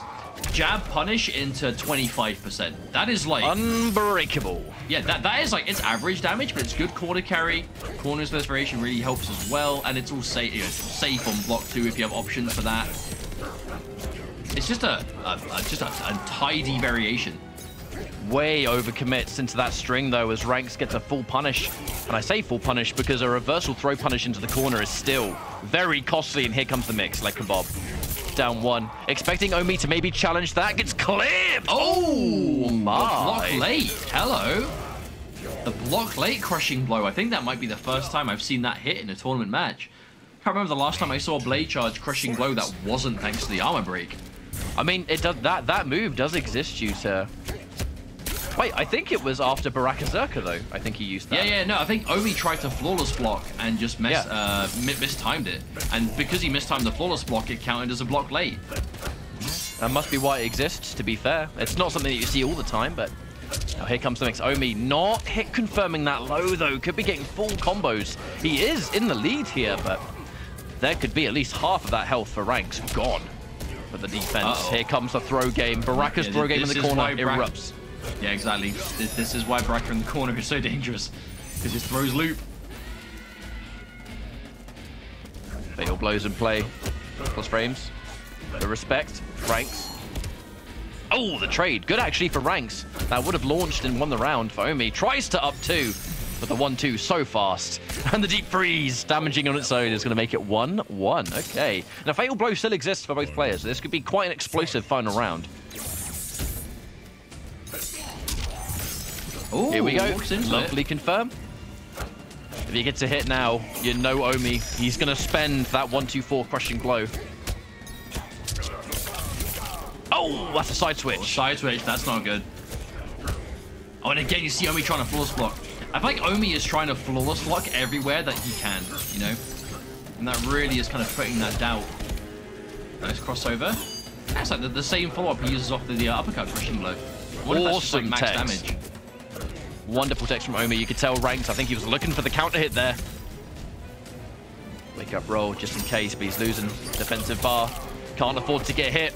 Wait a minute, leg gets hit now, clean. Empty jump throw. And now the fatal blow is a huge threat on both sides. He's fishing for it. Oh, the downfall whips. And that'll be the game one for Omi. But that was, uh, I mean, that was a heavy hitting matchup, Mustard. They were just swinging every step of the way. But it did ultimately boil down to what I was kind of talking about before when I said that. So being safe against Sub-Zero is one thing, but if you're in a situation where you are safe but minus that you have to worry about him like guaranteeing a button before you move, that's where it gets dangerous because you'll be safe, but you're forcing yourself into a situation that you kind of have to take a mix up. In that kind of scenario right there, that's exactly what we saw seal the deal. You know, he went for the overhead because he was safe, but he was minus enough to not move. Overhead connected, fatal blow follows, and you're dead. So it's that kind of. It's a mix up, so it's not a guaranteed damage by any means, but it's definitely something you have to worry about. Still, though, relatively close game. Omi looking a little bit rough in round one, but was able to kind of stabilize things somewhat moving through. And I like the way Ranks is playing, though. I feel like he really is heavily looking for the flawless blocks. Because Omi is flawless blocking pretty much every time he can. Like, if there's a gap, he's flawless blocking it. Which is also why we're seeing him get hit by almost every leg kebab. But the few times that he doesn't leg kebab and he finishes a string, he's getting launched for it. Oh, there's that immediate anti-air again. The use of back two for Omi has been fantastic today. Buffering it from far ranges too. Ranks doesn't hold the forward 4-4 just yet, I don't think. Doesn't want to lose too much. Ah, oh, that's going to catch. Try to flawless block Naomi now. There's no way he can break, so we just go into big damage ranks. If you have the breaker, he's probably going to do the blade charge, but if you don't, Baraka Zerka does more damage. You know, look at your bar for that. Overhead block. Oh, wow. He's dead. Punch. Baraka damage. Love it. I think that might be one of the highest damage, like, amp specials in the game, is Baraka Zerka into Blade Charge Ender. I think it's, al- it's almost 19% by itself. I don't think of any other specials that by themselves do that much. Let's confirm. Omi Important confirm. gets it this time. Getting himself out of the corner, and not only that, but allowing Baraka to get cornered instead. But the escape failed, so music to your ears as a Sub-Zero player. You've got the Oh, threat, to however, side switch. There's so much side switch in this lineup. You know, the, the Sub-Zero freeze jumping, Baraka. So many moves where he can fling you over his head. Here we go, restand situation. Well, I say keep them standing, I guess is more accurate. Oh, oh he, went for the back cr- three. The he went forbidden for the back three kebab, yeah. punish. Oh, is he dead? Punch. No. Oh, Wait a minute. Tech. Oh, drop kick for Baraka. That was uh, that made me that made me tense a little bit, mustard. I tensed a little bit. But Omi was still one hit away. As soon as Sub-Zero's got Fatal Blow, you might die. You have to remember, Sub-Zero is one of those characters where his like combos have so few hits in them, and the ice ball doesn't scale that hard, that like you get hit by the fatal blow, it's going to add more damage than almost any fatal blow in the game. Because it just it doesn't have op- the opportunity to scale like the other ones do. There's no hits. The hits don't actually add as much scaling as you'd think. But no, that was a much better round. And again, it's, it comes down to that corner. You know, I I, I think it really is a, a game of across the board. Like Baraka is just a very corner happy character. Ooh, really? I wonder. The one? This this is a change I was not expecting. I tell This you, is, no, um, but Spawn, he has become increasingly more popular in I know. series, hasn't he? and especially this variation. I feel like the more we go on, because there there are players that are really kind of like beginning to be a lot more successful in the competitive space, right? And and Spawn is one of those characters that has been kind of low key, like decent, but not super played. But the more we see him, the stronger he seems to look.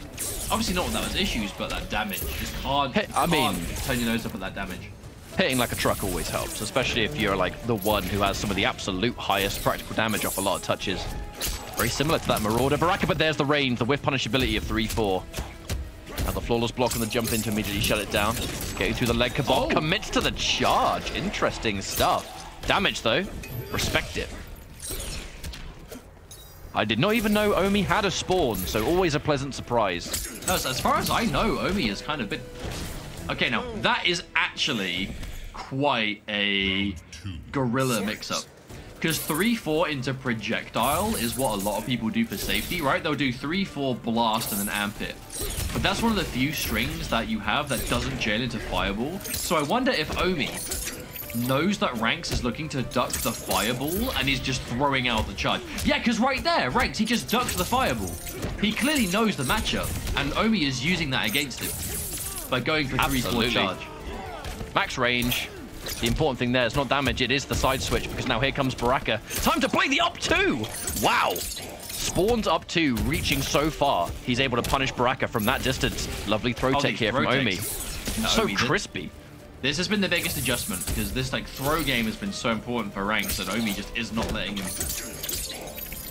punish. Oh, I Yeah, that's- Baraka can punish it. I don't know. I mean, he, we did see that Ranks did try and forward 4-4 earlier, but the actual initial forward 4 didn't connect, so perhaps it might be tricky.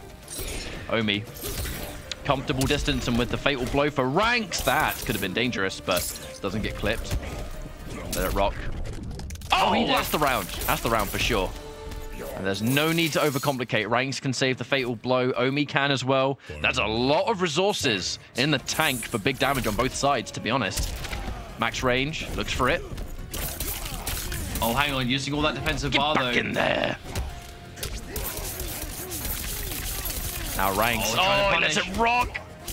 Lets it go all the way. The overhead. There is that mix-up forever. Escape failed, was that? That was a really late escape failed as well. Uh-oh. Oh, he's so worried. Oh, no! It's all going downhill for poor old Omi. He had such a wonderful start, and Baraka is going Oh to my cut goodness. and chop and slice his way into the next game. I like what I'm seeing here from Ranks. Omi, I mean, the second he got put in that corner, it was that blade charge, that one blade charge that just went whoop, fling him over his head. And then the rest of the game was left-hand territory, wasn't it? No, I, I feel like this is just the ultimate in utility Baraka, where you the only thing you don't have in this variation is a launch. Like you have everything else. You have corner carry, you have safety, you have chip damage, you have flawless block, you know, things to plug flawless block. You have um, you know, unbreakable damage. You have decent damage if you do get them to launch with your one-time crushing blows or you know, whatever it may be. You keep chop chop, so you have that mind game that goes with it, right? The, the eternal pain in the backside that is chop chop blades, and that that's where I think Berserker really shines. You know, it's just having a bit of just about everything, but in a way that is really tough to deal with. And now only going back to that Dead of Winter, I think the sport it was worth a try. Yeah, I understand what it was going for. I think he was kind of just trying to play the range game a bit better, right? Like like trade with a more traditional projectile, longer range buttons, so you can kind of keep my arms uh, arms length a little bit better. But uh, just not quite the same. I think it was worth a go for at least once. And we have to remember, this is uh, the first monthly final that is double elimination, so you actually can afford to try these other characters with less of a downside, because you will have that safety net. However, this is for winners finals. This is for the first shot at guaranteed money. Minimum top three means you get at least 100 bucks for. Uh, hang on, no, wait. If it's minimum It's top three, 200. it's minimum 200. Yeah, that's true. Indeed. It's for 100 bucks for fourth place, so if you get winners Oh, no, finals, is, no, it's is it 150 per third? I think actually. I think it's 200 per second. I, I, well, we can double check, but I actually think You'd it's think with the amount of these that we've done that would have it like locked in, but You've got me questioning I myself, numbers but too I, I'm good. pretty pretty sure I distinctly remember it just being 100 that separates, you know, every time. But either way, we'll find out later as Omi does manage to get the reset and another low, but no confirm. But the overhead comes out, so who cares? He's going to get the full combo and a comfortable round one, and importantly, corner position. But as we've seen, the nature of Berserker is he has so many ways to side switch. Having him in the corner is kind of risky because he hits you once, and you know the tables get turned, don't they? oh no. I feel like you just need to not be there. Uh-oh, mixy mix. At the edge where it looks to try and get maybe the Oh, anti-break but I mean, thi- this is kind of exactly what you were just talking about, right? Now the oh, tables yeah. have turned and it's Baraka Town. He's fishing for the crushing blow again. He's so naughty. Always looking the forbidden. There's oh, no, reason it would That is work. the worst possible time to drop that. Throw counter. They get more mix. Oh, no. Oh, but he's blocked it. Omi, can he escape this corner? And trying No, to force again. Oh no, match point now for ranks. And we did also just get a notification that it is $200 for third. So win winning this match gives you almost, like guaranteed almost as much as first place gets in a normal week. I mean, I There's- told there's definitely a decent chunk of money on the line for this I one. told you and you doubted me. Hey man, I'm happy to be to have the clarification. Oh no, we're punished. After the job is done now for ranks, another Oh. throw. Feast. Baraka will feast. Oh, he's slicing them up. One more sequence. And I think Omi, the tech, saving his skin, but can he do the comeback? Another tech says, get off me, Baraka, leave me alone. Oh, Oh, and there it is. Is that flawless? That actually was a flawless victory. He could He do a friendship legitimate if he wants. friendship. He could do a legitimate friendship Wait, if he wants to. if, will if he? there's a friendship, It is the first, I think, legitimate friendship through no shadow of a doubt that we have seen. Oh my goodness. Ranks with that berserker baraka. flawless, victory. The Yo, actually- friendship. I actually didn't know that it came up and said flawless at the side. No, you know why? You know why? Because we don't see proper friendships ever. True. But we got treated. We got treated to that today. The real friendship, and I mean, that's got to be, I would say icing on the cake, but it is a no pun intended because he threw the I mean, cake. hang on, wait. That's a good point because we know, we know that it's a legitimate friendship because it can only be a legitimate friendship if it's a flawless, right? Because you just have to Yeah. not take chip damage. Because you- have you to not didn't block. block. Don't take. You da- didn't don't block, Take chip yeah. damage. I guess with the exception of characters that like put things on the floor that you can stand in that you can't block, like acid or whatever, but that's more specific. And that's also not super relevant because that was a really good set. Ranks, I think. Winners, finals really guaranteed. Well. Yeah, winners finals for ranks. This is why I, I said going into today, one of my predictions was ranks is a player to watch right now. Now he's been working on that Raiden. Like, he is a Baraka main that we would only really see consistently suffer the most in matchups that, I mean, we just know that Baraka really doesn't do very well in. Not to say that he only loses because of matchups, but like, Baraka is one of those characters that, as solid as he is, does have matchups that make him look considerably, you know, worse off. And as a Baraka main, you do kind of need another character, at least, to kind of plug those matchups. And now I think Ranks, now he's gone back to that Raiden more, has got exactly that.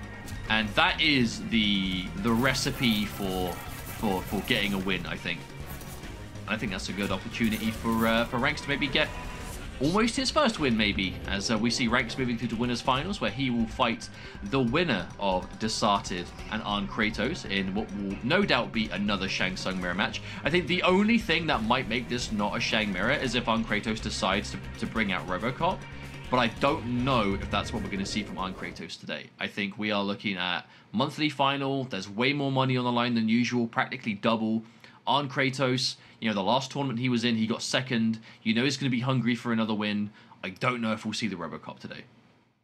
I mean, yeah, I, I thoroughly think that we're gonna um, see Shang all the way for Arn Kratos. If it's a monthly final and it is the kind of the max amount of money that we're seeing here, he's gonna want to try and go as far as he can and bracket. He is the world's greatest Shang Tsung player as far as I'm concerned, it makes sense. But on the note of Shang Tsung, I mean, these are the two premier Russian Shang Tsungs that we're about to see go head to head. It will be a mirror. It won't be a complete mirror, I don't think. I do foresee. No, definitely not. I do thoroughly foresee Warlock versus Soul Eater because that's just what happens when these two players fight. Uh, you've got Arn Kratos who goes Warlock mostly and Soul Eater if necessary, and then Desarted who is Soul Eater all, as far as possible, and then Warlock if there's a specific matchup where it helps him out. But even then, he still doesn't go Warlock in some matchups that you would think Warlock does well in because he has more faith and actually does better with Soul Eater. So, uh, very much a specialist. And we'll just see how this one goes. Arn Kratos, as far as I'm concerned, is the favorite. Uh, just because of previous results. Clearly, the people that I mean, the last time they played it was close, but Arn Kratos has won every time. You know, that there's no getting around it. That that is the main point here. So I expect a good match, but Arn Kratos is definitely the one to watch, in my opinion. I did not Was that the same intro as well? Those poor It dudes. was. Shao Kahn made me to replace you. Genius cannot be replaced. Round one. No, it cannot. Tell him, Shang. To Shang. Oh, and as we expected, Warlock versus Soul Eater, so not quite the mirror match.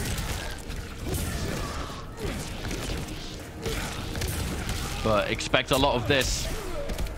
The nature of Arn Kratos controlling as much of the screen space as possible and then Desarted trying to make the jump distance count.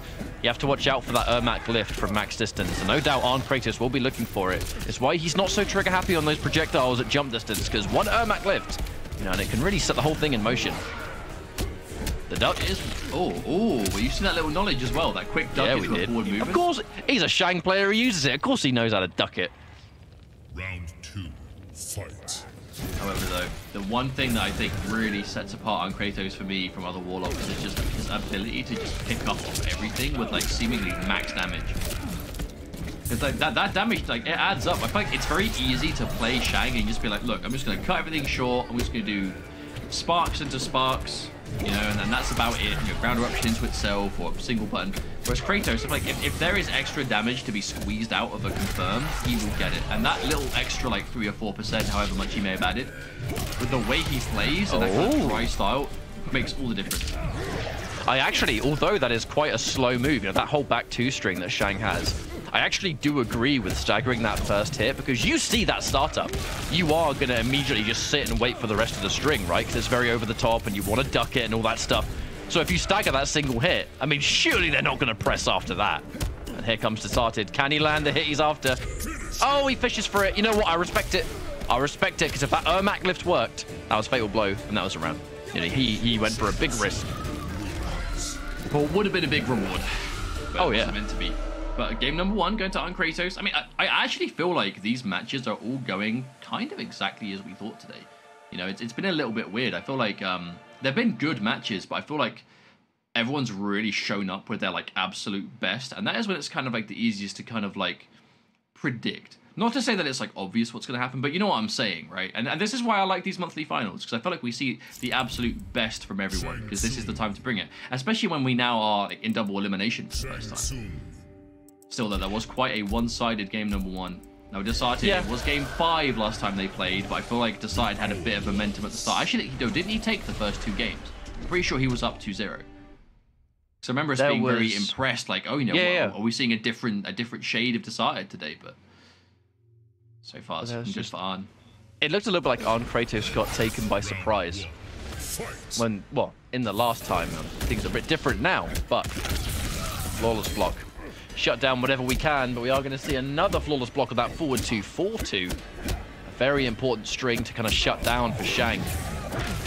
And now uh, Ermac lift confirm as always. Nice little chunk of damage.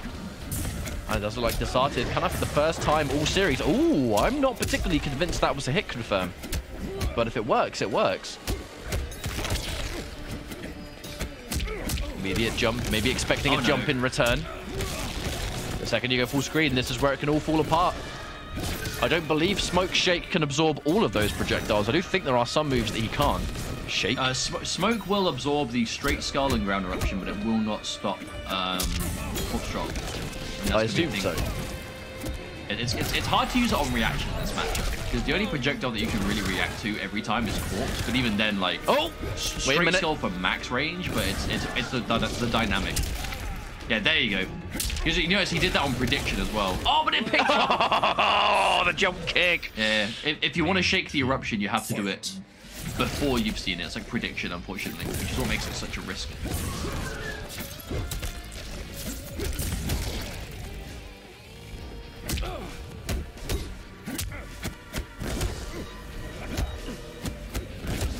Looking to show a lot of respect on those plus frames. Does even another one. Flawless block. Again, that unblock, flawless block. I'm pretty sure that's like an option select almost for Kratos. He has a high success rate on it at the very le at the very least. Sorry. Ah, side switching throw Desarted. Playtime for Soul Eater in the corner. One thing Soul Eater will have over Warlock is corner presence. That's a counter hit. Right, if he's going to win the round, this is one hell of a way to start it. A little bit of a heal here and there. If he gets anything into... Oh, Magnet's empty jump low. I think he's aware of the jump in tech, and he's... The next layer that comes from it. Turn stealing down one. Expects maybe some sort of jump. More down one. down one. Oh, I love that. That down one to check that forward dash from Kratos. Desarted not letting him move in for free. Oh, hang on a minute. Me jump in. Oh, no, no, no. Oh, and there's the low. The Desarted finds it. I feel like you really had to fight for that one. He had the life lead the whole time, but Arn Kratos was just finding ways of just getting a little bit of damage back. That Ermac suit hits diff that Ermac costume hits different today, considering what I'm currently wearing. True. I wish I could wear the mask all day, but I cannot commentate in it, which is why we took it off. Live for it, die by it, but you know, still got a job to do here, folks. But in this next matchup, doesn't win. Yeah, if I had like a little microphone that I could like clip on the inside, that'd be next level. But I mean, I'm only at home, and I so I don't have that technology. Oh, I'm hang on a all minute. disowning, working real good. Yeah, yeah, he gets the knockdown too. The important thing about the charge, just keeping Desarted exactly where we want him, and he has the range. Ah, doesn't let it go. No need to risk it. Oh, and there it is again, the ground eruption. And again, I, I feel like this is how these matches are just going down almost every time we see them, right? Where Desarted, like, he, he puts up a fight, but just comes down to not having the life lead, having to advance through. Because here's the thing about this specific variation matchup. Eater definitely has the tools, but Eater is not going to be doing a lot from full screen. You know, your full screen options are going to be limited to straight skull if you want to trade with literally anything, and the only thing you're going to do is trade evenly with another straight skull, and even then, if it gets amped, you're in trouble. You'll lose the trade to everything else. And Shake, which you can only do on reaction to Skull at long range. You have to do it on prediction against Ground Eruption, and it just loses to Corpse Drop. So this is a variation that Eater is going to want to be point blank all the time, but it's just that just you you're not going to be against Warlock. You know what I mean? Like you will have to play the long range game against Warlock. It's just what happens in the matchup. There will come a time that you're going to be at distance and you have to work your way in through the eruption, through the, the corpse, whatever it is. And that is the situation that Soul Eater is going to suffer the most in. It's the same matchup all the way And through. this is what we expected.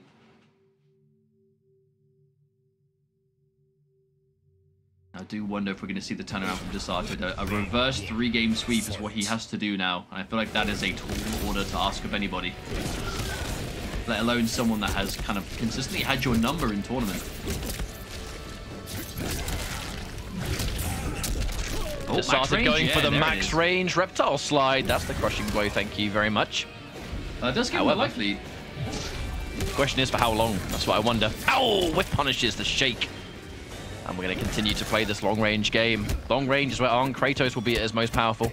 But this is that next layer. Both players, they, they know of each other's plus frames, right? And they respect it. Now that instant where Desarted tried to jump out instead. Oh, he becomes Soul Eater himself. Yeah, I'm You know actually what? quite surprised that's the first time we've seen that. Normally in the Shang Mirror, you see a lot of morphing. You know what I, I Shang Tsung. Oh, Oof, you know what I love actually about the fact, by the way, match point Arn Kratos. When he became Soul Eater, the first thing he did was meaty with forward two. I think he was looking for a counter hit on that just to take the crushing blow. Because he wouldn't have had no reason to not use it if it connected. Free damage. Oh, speaking, speaking of free damage, blow, yeah. Oh no, breakaway either. Desarted just holding all this. Max range Arn Kratos. The dash into 112 plus frames. Straight skull in case they try and challenge it or jump perhaps. Manages to catch the anti-air in the middle of it.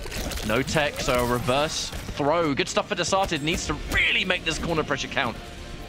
I do think empty jump into button. That is one of the ways that you can get around that release block tech that Arn Kratos does. But he's just got the side switch, just a raw jump out. Uh-oh. Uh-oh, he's enforcing the pressure flawless block. Oh, But he needs more than that. block. Oh, the chase down. Boom. And the fatal blow. There we go. Desarted. That is exactly, precisely what he needed to get back into this game.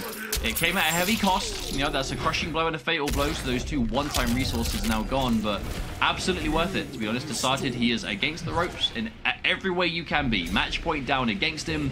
Three games ahead he needs to take. I mean, just get some momentum back, win the round, be done with it. Although we find himself in a situation again. This has been the range he has struggled at this entire set, but a drop combo. A rare execution error from Arn Kratos gives uh, Desarted a way back in maybe, but no, he finds himself back here already again. Almost half-life to just projectiles. There it is, the shake. The back roll. I like it. That, that That's Arn Kratos, he's playing careful. Back roll was the, the, the, the least risk he could do there. When you get hit by that shake and you know that mind game is there of the amp, crushing blow. Speaking of which, another crushing blow comes through. Desarted so close, actually, being able to get a game on the yeah. board. This is going well for Desarted. He's very close. He's winning. Oh, oh no, but that cost defensive bar.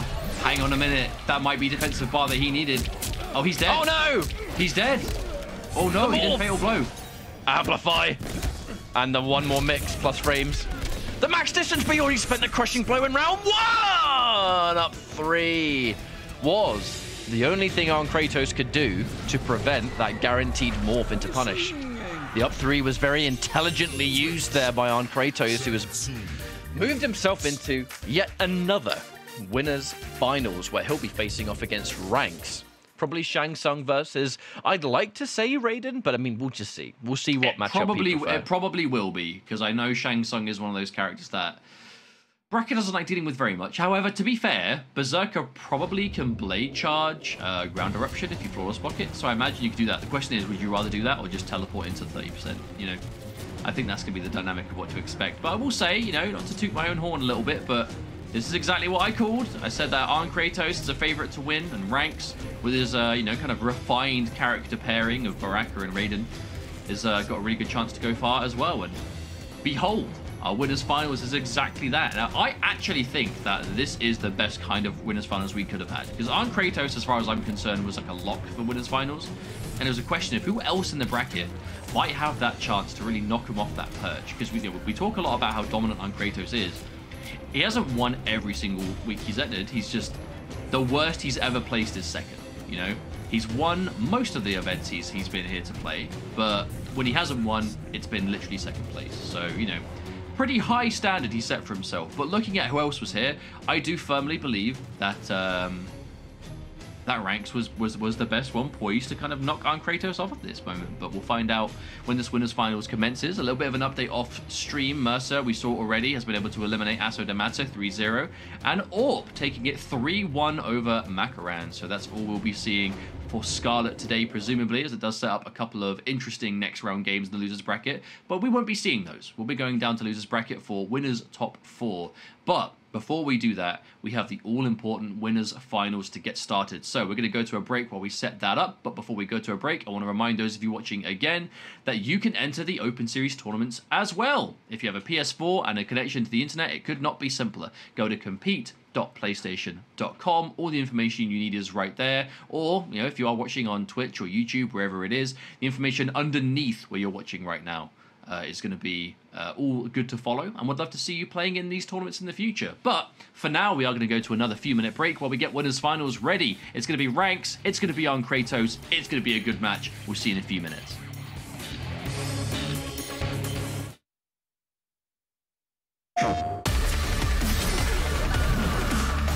The PS4 Tournament's Open Series has been full of fantastic finishes, killer combos, and a friendship or two. Let's go, friendship. That's what I'm talking about. We've seen promising new players and household names continue to dominate. This cannot be a full life comeback, surely, not. I refuse to believe it. Oh, Marco, the reverse sweep. Do not miss a single moment of the PS4 Tournament's Open Series. プ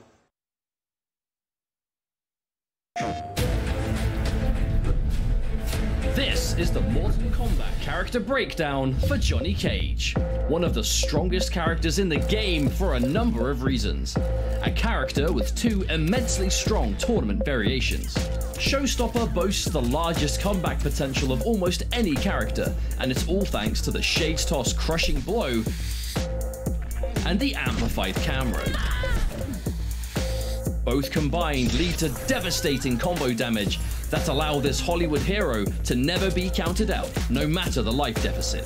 Outtake is a little more fundamental, with arcing force balls that provide dangerous keep away, and the Rising Star for safety and chip damage. A tool set that can deal real damage anywhere on screen, and can cover your back in a variety of matchups. This character universally boasts great range, combo damage, and pressure.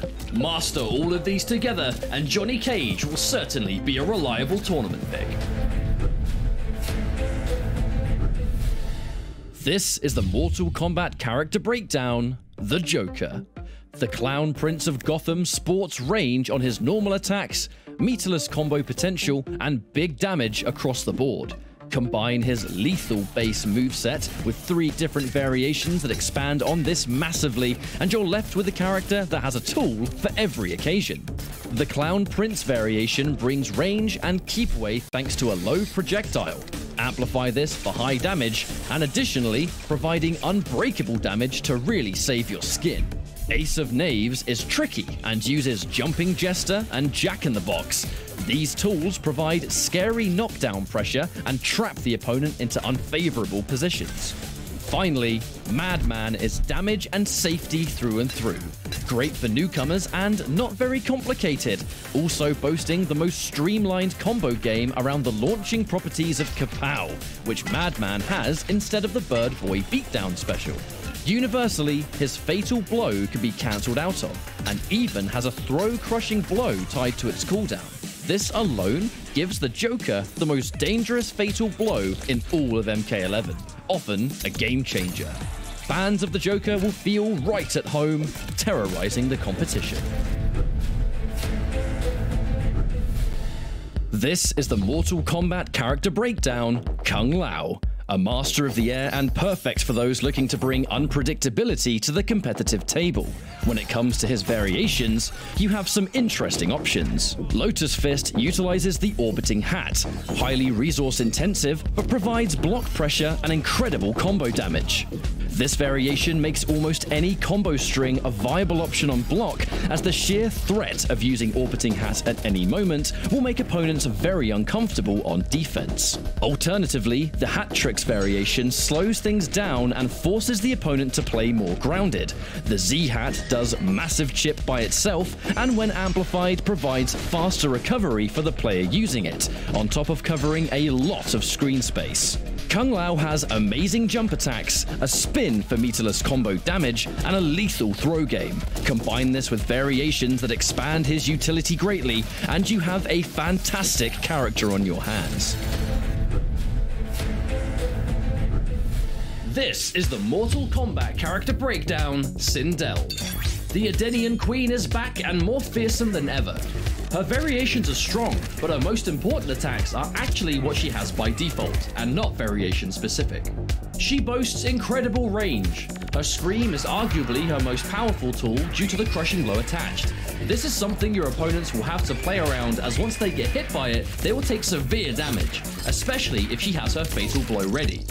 Her towards back kick is a key attack that can cause a lot of headaches for her opponent.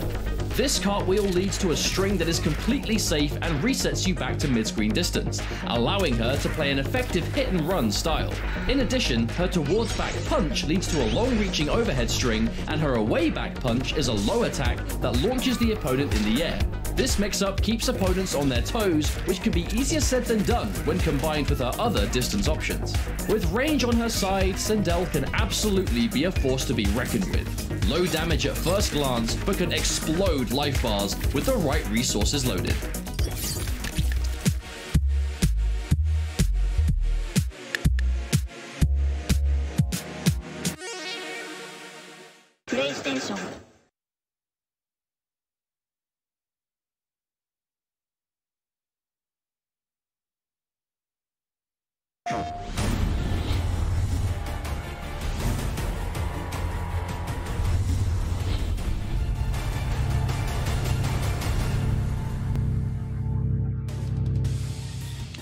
Are just about to jump into our winners finals here for the PS4 tournament MK11 Open Series monthly finals. Well, my name is Ketchup, joined by Mustard, and it's going to be Ranks versus Arn Kratos. So it's either going to be Baraka or Raiden versus the Shang Tsung, most likely. I do think Raiden makes the most sense if we just look at the matchup on paper. But I mean, Ranks' as Berserker today has been doing incredible things up against Omi, for example. So who knows, honestly?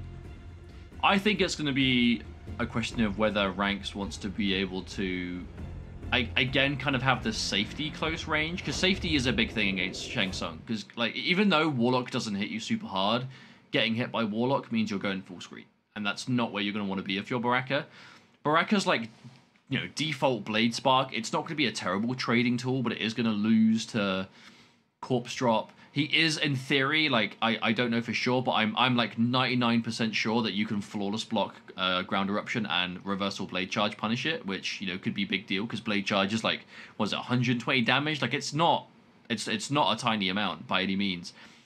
Um, and then when you are point blank, you're going to have safer options, right? Because someone like Arn Kratos, who's very good at flawless blocking, you are going to have options like you know the, the leg kebab, you're going to have the chip, whatever it is, right? And then Baraka's corner game, which is always really good. Raiden is going to be less less fuss, but a bit more unsafe, where you are going to be able to like teleport right as he ground eruptions, right as he throws a corpse, and get a full standing punish. But when you are blocking, you have to make sure you are very prepared for what your follow ups are because you know Arn Kratos is going to be ready to duck. He's going to be ready to OS anything that can be OS in the matchup, which is normally something quite difficult, but he's going to be able to do it. I don't know. I think the bigger reward up front is Raiden, but the safer pick is still going to be Berserker. I think it depends completely on what Ranks thinks is the, the right choice here. Because you know you're fighting one of the best Warlocks, if not the best Warlock player in the world. So, you know, it's uh, quite a decision to make. As we go into character select, we'll find out. It's Warlock from Arn Kratos, no surprise. Now, what do we see from Ranks? There are other characters Ranks has also been able to play competitively. The question is, we see the biggest success from Raiden or Baraka.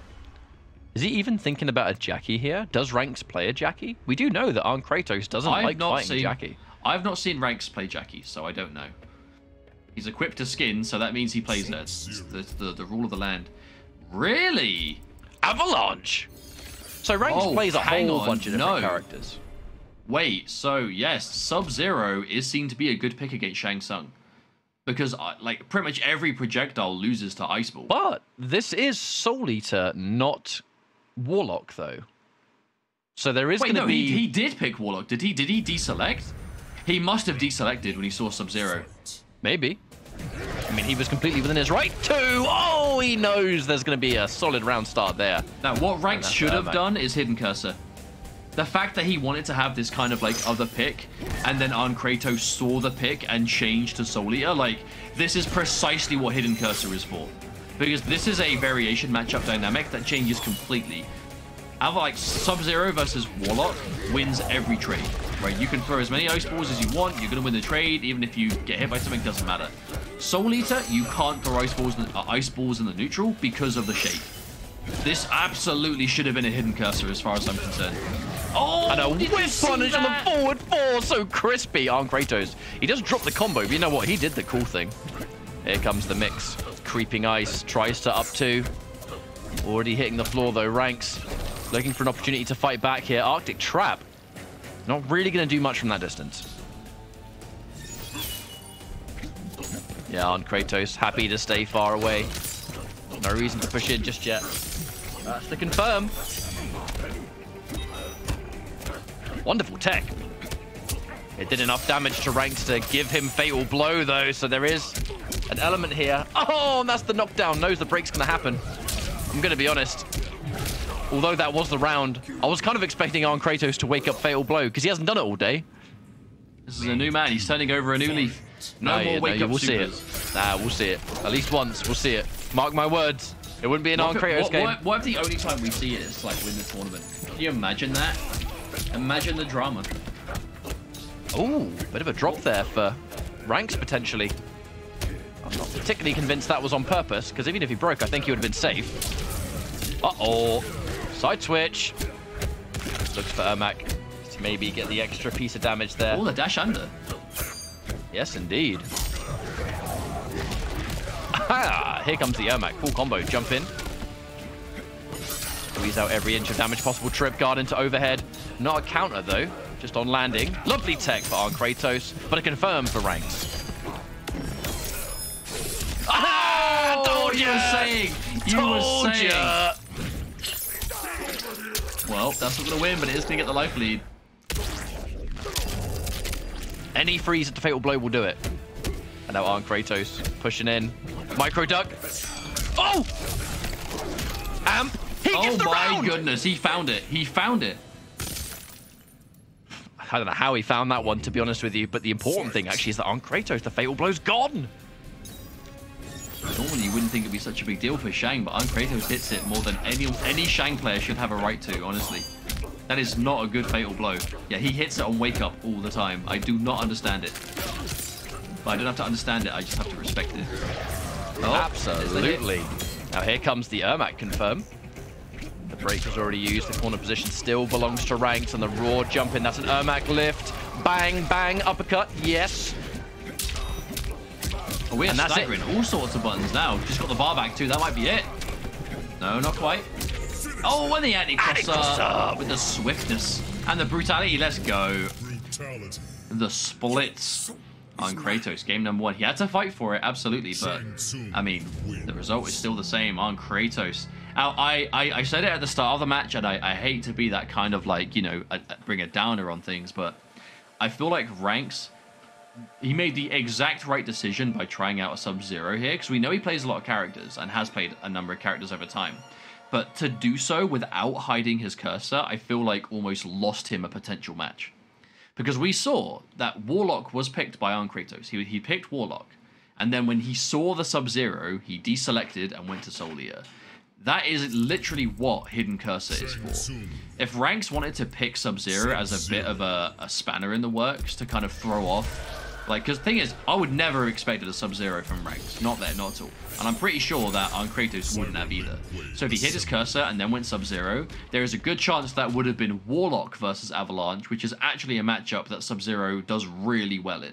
Because you can't throw projectiles ever. Because you you will lose the trade. Nine times out of ten, you will lose the trade. You're going to get put in the corner. You're going to get out damaged.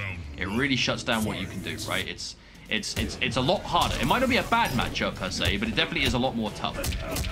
But because we saw Arn Kratos, he, he was able to, to, to, to see it and select Soul Eater. That was a potential one match, not there for ranks. So the entire dynamic of changing just wasn't in his favor when it should have been. There's that down one instantly. Throw tech. Ranks in his throw techs. Throw techs from both sides, and you know it's going to be good at this Oh. level. Wow. That was some strange counter poke, but it works. And the flawless block to shut down some of that chip from the creeping ice. Forward throw. Here comes more pressure. Sub-Zero. Double digit plus frames on that forward throw. And by all accounts, should be able to take this round. And he will with a clean little jump kick. Ranks taking the first round here. And Arn Kratos absolutely can bring this one back. You know we can. People definitely favored him too. Lovely reaction. There it is.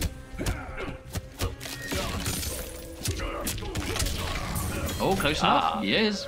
I like how he acknowledged there wasn't a counter hit, so he doesn't launch. Always good. And in the corner, you're going to get more damage anyway without it. So here comes Ermac again. All Soul Eater in the corner. These combos are so clean. Really good damage as well. Like one bar, like 330. That definitely is like by this game standards, that's pretty much better than average. Oh, he tried to go for optimal, but didn't quite get it. Still, damage is damage. Arn Kratos having quite a lead. Oh, with punish! that was so perfect, so perfect, and the optimal too.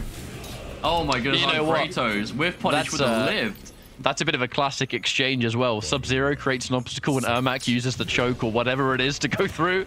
Seen that in MK9s or that MKX. See it in MK11 in just a little bit of a different way. I imagine we'll see it long into the future. Oh, oh, and again, Arn Kratos tried it again, but this time way too close. Oh, the OS.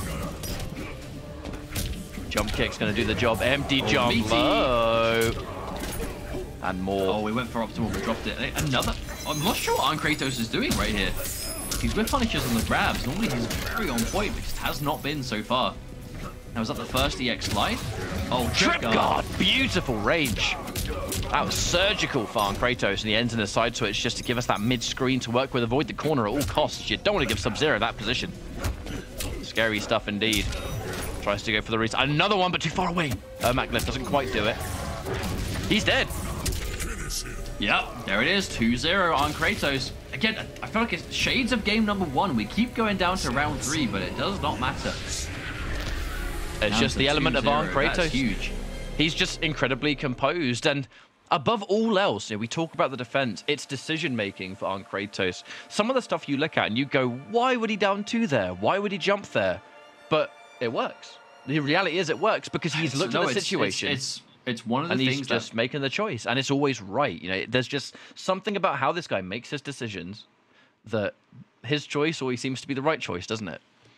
Well, I, I- I definitely think that that's a big part of your, again, just knowing that, right, I'm going to jump now because you're going to do this and boom. The only element to that point that we're not seeing is he's ducking a lot of throws and not punishing them properly.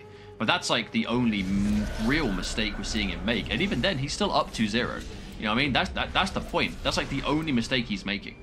But now Ranks, unfortunately, finds himself at a two game deficit. The Sub Zero pick did not work in game number one or two. But the problem is, they were two round threes. So, I mean, could we say? I mean, they didn't work on in terms of the score, but the matches, but in the matches we saw, Sub Zero seems to not be a bad idea either. So it's kind of like, yeah, he was definitely considering it. It's like, do I change character, even though I'm down two games, or do I stick with Sub Zero knowing it's round three? Because they were two close games. Don't get me wrong. They were close to matches. Like the sc- the, Well- the score line doesn't reflect how close these matches have been. Honestly. we look at the future matches too. Uh, the Sub Zero pick, it does seem quite a good one because you look at the long game. You know, we look at Sub Zero versus Warlock can fight, Sub Zero versus Soul Eater can fight. If you look at ranks and ranks, if he were to go Baraka here and win game one again, you know, his first game against Soul Eater, and then he has to fight Warlock, it's like, okay, well, this final game is going to be almost impossible for me. But at least Avalanche is able to fight both variations. So he's, he's kind of got the future in mind with this, but the future might be short-lived at this rate. Arn Kratos working on a 3 to 0. He went into this as the favorite, especially if he has the Shang Tsung. He's playing no games this week. No experiments, no messages to send. The only message I want to send is, I'm the best Shang and I'm going to prove it. Ah, look at this destruction on This has been a one-sided round. Oh, oh, that was interesting. he crouched the jump in and then trip guarded with the flames. I mean, that's just. you couldn't make that up. Now, You called him an imbecile. He just reacted to a. He just reacted to an ice ball with shake, Don't killed throw. man, and then just said, "You imbecile." don't throw That's an ice rude, ball. dude. Don't throw an ice ball. He's looking for the crushing blow. He's so cheeky. We all knew it. Oh no. We all know Okay, it. that's not a good sign. Okay. Too far away. The creeping ice isn't going to do anything. With punish. Ranks trying to throw the kitchen sink at him and no one home just yet. Expects maybe the gap. Oh no. Ranks has to break. With punish Ermac. I mean, that's as good as it's going to get so far. Side switch. We need to get some sort of momentum here because Ranks is in big trouble. Punish. No. Can't. All right. Here we go. What's it going to be? The flawless Flawless block. block. to shut down the chip? So good. Arn Kratos' flawless blocks, Mustard. Why are they so good?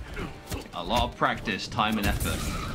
Now, oh, that could have been huge. It was good for ranks to block on landing. Oh no, but it won't matter. The confirm Arn Kratos finds the magic fatal blow, and that is absolutely going to do enough to kill Arn Kratos, walking his way 3-0 to grand finals on the winner's side of this October monthly final. I mean, are, are either of us surprised? Really?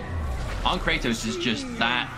He is just that guy at this point for Europe. You know, he is that most dominant force. When he's running all Shang, that is The when he's at number most one. consistency. Yes, indeed. And of course, you know, ranks definitely not even though again it was a 3-0 sure but ranks didn't just get obliterated those first two games they did go down to close round threes you know kind of the epitome of one of those sets where you know this is like we've said before the scoreline doesn't really reflect how the matches actually went but what matters is the scoreline at the end of the day as Arn Kratos is now going to be sitting pretty guaranteed at least second place so that is a good payday if you are Arn Kratos ranks the Avalanche pick I definitely think it was worth a try I still stand true to my earlier analysis of the hidden cursor, in my opinion, should have been what was done at the start. But you know what? It is what it is. You know, like there's no use dwelling on it, dwelling on it too much because Ranks is definitely still in this. He's just losers finals now, so you know minimum third place, but he's still one game away from getting that run back. And Ranks is still having a good day, so we could absolutely see the repeat matchup come through in losers finals. But we are a little bit away from finding that out, as we do have now a losers top four match to go to to find out who is going to get through to that losers finals to face ranks for the right to get to Arn Kratos again. Quite the obstacle course, I think, because ranks and Arn Kratos, they've been the most dominant players of the day, I think, for sure. But with the losers bracket action about to take place. So this is elimination territory. Uh, Some people might only tune into the monthly finals, and if this is your first time seeing a oh, if this is your first time seeing a double elimination, I mean the losers bracket is your last tournament lifeline basically, and as we can see, three two Omi defeated Orp. And Mercer defeated Desarted. So they fought in round one. They're going to fight again. This time it's elimination territory and for a shot at losers finals. Mercer and Omi, Scorpion versus Sub-Zero. I mean, as soon as they're ready, we'll get straight into it. I can see Mercer's already in the lobby, so we should actually get into this matchup quite quickly. And it's been a nice little mixed bag. Haven't seen Mercer in some time, haven't seen Omi in a fair old while, and he's definitely giving us a uh, better showing now than when we, first yeah, saw him. We've, we've only seen Omi once in the past, and he had a rough time. Um, if, if memory serves, I actually think it was a. Um, it was it, it was a monthly final, but it was single elim, so we, we only had the chance to see him the one time, and that was about it. But um, no, it's it's it's definitely a match I'm looking forward to seeing the run back of. I think given the fact that this is the first time we've seen a double elimination monthly final, seeing the same thing happen, you know, the same matchup happen twice, It's the first time I've actually had the chance to see this uh, in the monthly final. So we're going to see if the, the kind of tried and true adaptation of the Open Series works out. Because how many times have we seen players, they'll duke it out on winners, they'll get the run back, and it's a completely different set. I feel like that happens way more than it doesn't. Now, interestingly, the people favored Mercer, even though Omi kind of dominantly defeated Mercer when they fought in winners. So, again, I think it just comes down more to the fact that Mercer has a lot of supporters out there that will believe in him no matter what. And we'll see if Omi can go for the potential double elimination or whether it's going to be that one to one, you know? And it is, remember everyone, fighting for that loser's final spot.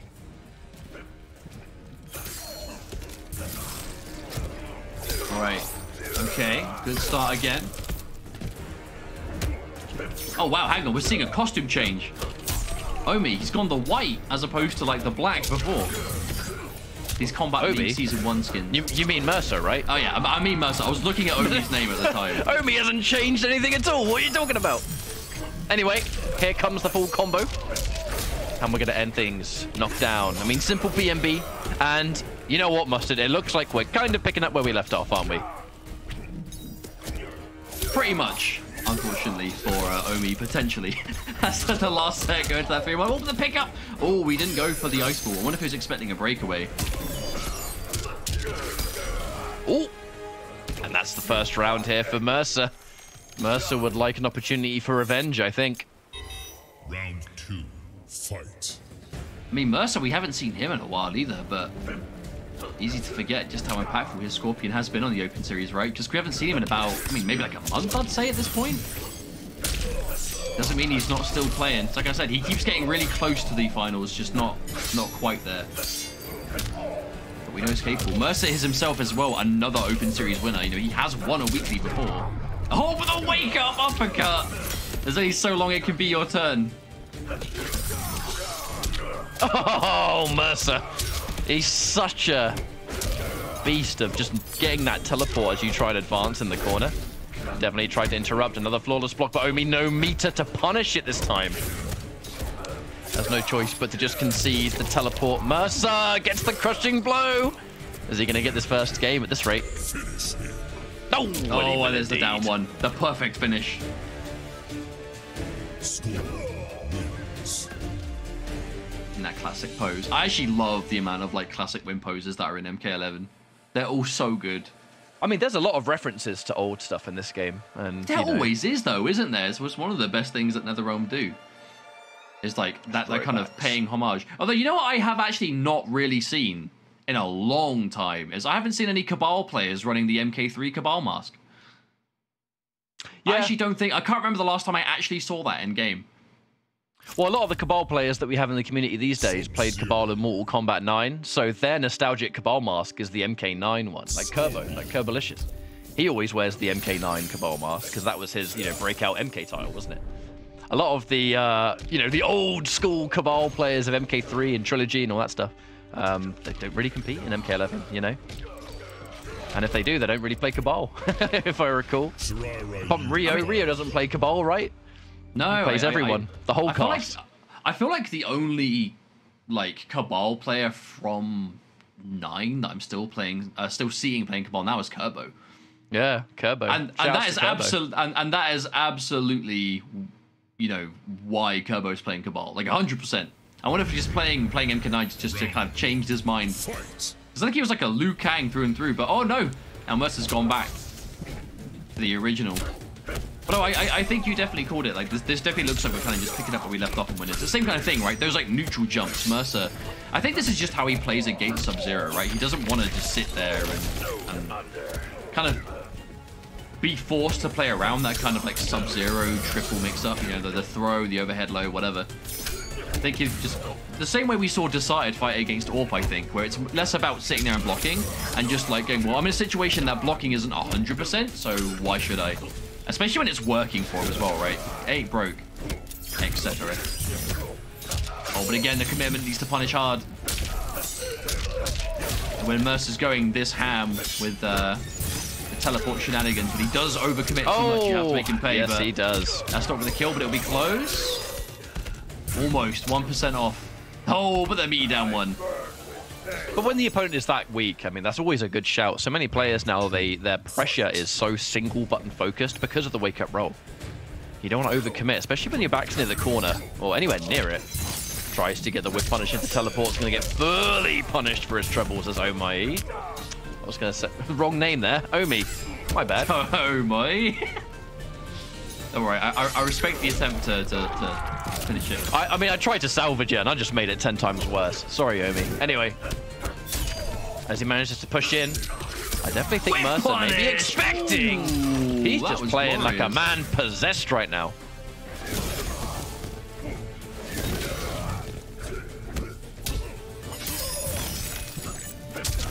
Uh-oh. All right, reset. There's the block on the low counter. Okay, now that is the Omi we saw a lot more in winners bracket. No, but too eager is Mercer. You know, I actually kind of like that fatal blow because Omi, he's been doing a lot of these like clutch flawless blocks um, the entire day, and I feel like w- when he's had those rounds that he really is just like getting them in the best moment. That's when he's having the most success. So I think like seeing that he's going for these force blocks, immediately trying to steal the momentum away with a fatal blow. Because if that fatal blow worked, I wonder if that almost would have crushed Omi. Like, okay, you- like, you're now going back to this flawless block style. I'm now going to stop the momentum straight away with a fatal blow, and now you're in trouble again. Reactionary block on the back three, too. Uh huh. Escape failed. failed. That's not good. Yeah, gave it a good go to try and escape, but Scorpion in aftermath now crushing blow throw on both directions, gets the tech, and that is going to shut down the crushing blows. So, very impactful time to tech right there. Oh, Mercer might tried to beat that air to air. You know that air to air would have been a teleport for Mercer, so a trade that favors Omi, I think. And that's just a raw of raw deep freeze. Uh oh. I think that was a bit of a combo drop there because that would have been 1 2 4 crushing blow. You know it would.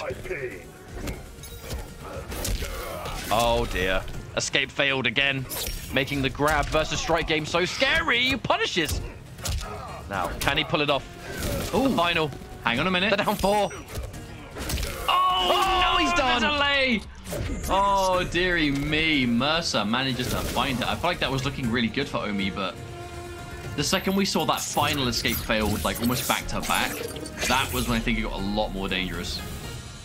Mercer 2-0. Again, another close game, but close matches don't always mean for a close scoreline. Mercer is one game away from getting that match against ranks in the losers final. And to be honest, I actually think if Mercer can pull this off, he actually might have a really good chance to do well because he has defeated Arn Kratos in the past in Open Series.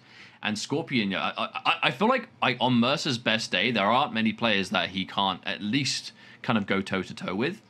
And he's looking like this could be one of those days. You know, like it didn't go amazingly well for him um, all through today, but I think he's going to be We are seeing the disappointed too because Omi had the, he had the corner combo, uh, and I, I believe he still had the one two four KB. I don't think he'd spent it before. I and so, he. Just he he dropped it. He just dropped the combo that would have done so much damage and put him. Not only that, I don't think the combo would have killed, but it would have left him weak enough that the grab was a threat and any button was a threat. That one drop cost him the entire sequence and ultimately the whole game. It's the worst kind of combo drop, one that loses you the whole match. Fight. And he has to keep his mind in the game because that can cause everything to fall apart mentally as we go into the rest. Well, especially like, like the way Omi won the winner's side match, where it was done like via you know, really like, sick decision making, you know, that, that that that final reset. Like he was definitely feeling himself, right? But I feel like the momentum we saw at the end of the winner's set is kind of not there anymore. I feel like it's completely swapped, if anything, and now Mercer is clearly like steamrolling ahead. And there we go. Oh, he went for optimal but dropped it. No punish though. A rare miss from Mercer. Clean anti-air. Oh, that was gorgeous. Oh. Yeah, I didn't want to. I, I respect that. Didn't want to finish it and overextend to die to a breakaway, maybe. Still Well, down on life. Oh, the whiff punish. I did wonder how long it would be before we started seeing Mercer go for back jumps and a really right. big boot. Oh, it Oh, no, not again. Yeah, fool me once. Shame on me. Oh, shame on you. I got that wrong. You know what I mean? The fool me once quote. Yeah, you know, that, that, that thing that some people say, match point for Mercer, is another thing that we say. There's the flawless block. Something Omi's been doing a great job of all day long, but now has to bring up his A game, otherwise Mercer's going to run away with this 3-0 swift revenge it would be. And the teleport, anti-air there it is. teleport, love it. All the Low-key drop. one of the better anti-airs in the game, honestly.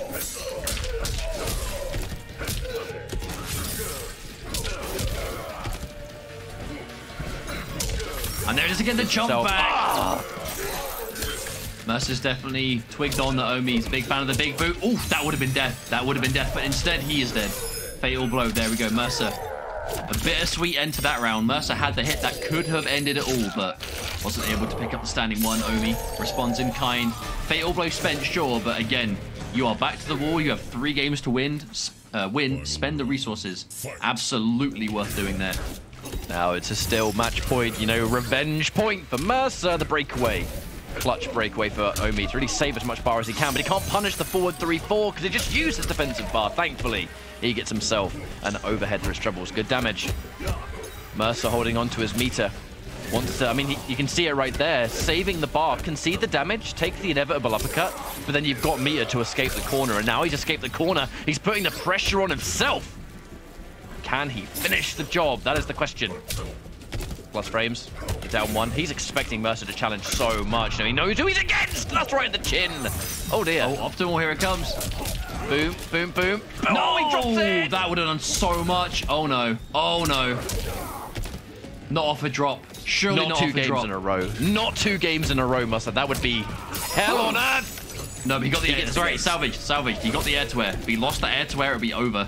That one exchange made the difference between whether us being over now, but not gonna happen. Omi manages to get it. That would have been a tragic way for Omi to lose that set if he dropped that KB combo, because that would have been like a lot of damage as well. Because you've done, wait, what was it? It was uppercut, crushing blow, only a standing three into ice ball. Like that would have been like minimal scaling for sure. That would have been an easy like 500 damage minimum, I bet. Which is exactly why I went for it, right? It would have been the best damage for the moment, but Sub-Zero. fortunately for Omi, was able to keep things stabilized. And now we go into another match here. Mercer, that 3-0, not going to be quite on the cards anymore. But he is still in the lead, so Omi still has to play it safe. Or maybe not even play it safe, but, you know, still has to be careful at the very least. So this next game, I mean, if Omi's able to take this, we go into a game five instantly. And Omi, well, we're not seeing the same caliber of flawless blocks like we did in winners. Uh, we are seeing some pretty crucial com- uh, combo drops in vital moments, you know? So I really hope that that doesn't continue. Because that was almost two games in a row that Omi would have lost because he had the win in the palm of his hands and he dropped the combo. However, thankfully he recovered, you know, in the game that he just played. A flawless block, and Omi, because he used his defensive bar, although the flawless block was there, no option to punish.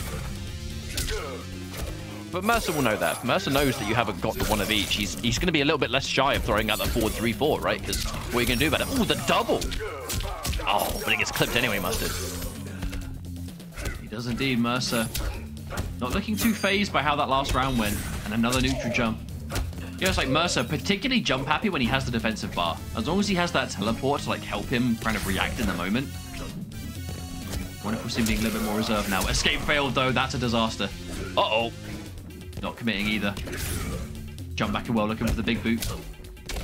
It looks like Mercer's just jumping all over, but he's constantly looking for things, right? Looking for the big boot, looking for a button to whiff, anything. Tries to punish, but a little bit too slow. The whiffed uppercut, but no punish. Mercer letting this one slip away a little bit, but still getting one hit at a time.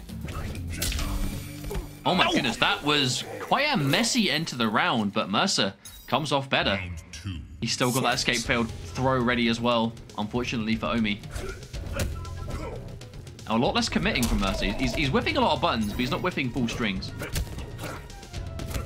The raw again. jump. Decision there. Mercer with punish. The back two coming out for Omi. Now, corner pressure. That is where things can maybe come alive for Sub-Zero. But there's so much respect. Omi, he's expecting buttons. He wants to whip punish. He wants to maybe anti-air.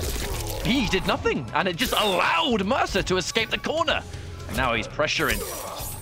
Another one. The crushing blow throw was spent, so that's just going to lead to more damage, if anything. He's not going to get any KB throws, but he's getting pushed back into the corner. Can Omi keep him here? He fights his way out again! You think you've got an opening, and he just up threes you for days. This should be the round win. One, two, four. And he Now gets that, yeah, that is where he needed to nail that combo. If, Hey, if we saw another drop, that would have been it. Final round. Cue the music. Fight. Subway music with the on, on my screen, it's the uh, MK2 Coliseum, so it's not quite the same, but it's better than nothing. and on the spectator screen, it's the Living Forest. I'll give any excuse to listen to the subway theme. My favorite. Thank you for putting it in another round. That tree on the right, that's my reaction to hearing the subway theme every time. Which one? Oh, okay. That one. The one on the right. Whoa! Anyway, knockdown. And hang on a minute, Omi making this close. But as he gets put in the corner, maybe things will change. We'll see. Doesn't get the throw tech there. That's just a grab on its own. Ooh. Meaty down one, expecting a button press. No button press for Mercer, though. I was thinking maybe there was going to be a jump kick from that one, but not quite. Teleport canceling back three. Mercer not afraid to teleport himself in the corner. So fatal blow, ready for the Scorpion. Dude, Mercer's like hit. frozen up. Oh, he's done! What happened? That was crazy. Mercer, Mercer, in a very uncharacteristic fashion, just kind of sat there for a while. Like for someone as animated and mobile as Mercer is, I did not expect him to kind of calm down. I wonder if he was just like, look, my health is low, overhead low is coming, let me just react to it. But then Omi didn't do it for a while, and then the second he did let it go, it was like maybe not when you'd expect, perhaps. Regardless, game five, Omi, he is dragging this set all the way back from a 2-0 one round deficit. Like it, it could not have been more against him. He was down two games, he was down a round, he had Remember, there was that moment that Mercer got a forward three right as Omi jumped, and if he just picked it up with a 1-1 before he hit the ground, he would have won the set. But it was that mistake that he didn't get that let Omi wake up with buttons, you know, whiff punish the missed button, and that gave him that that round, you know?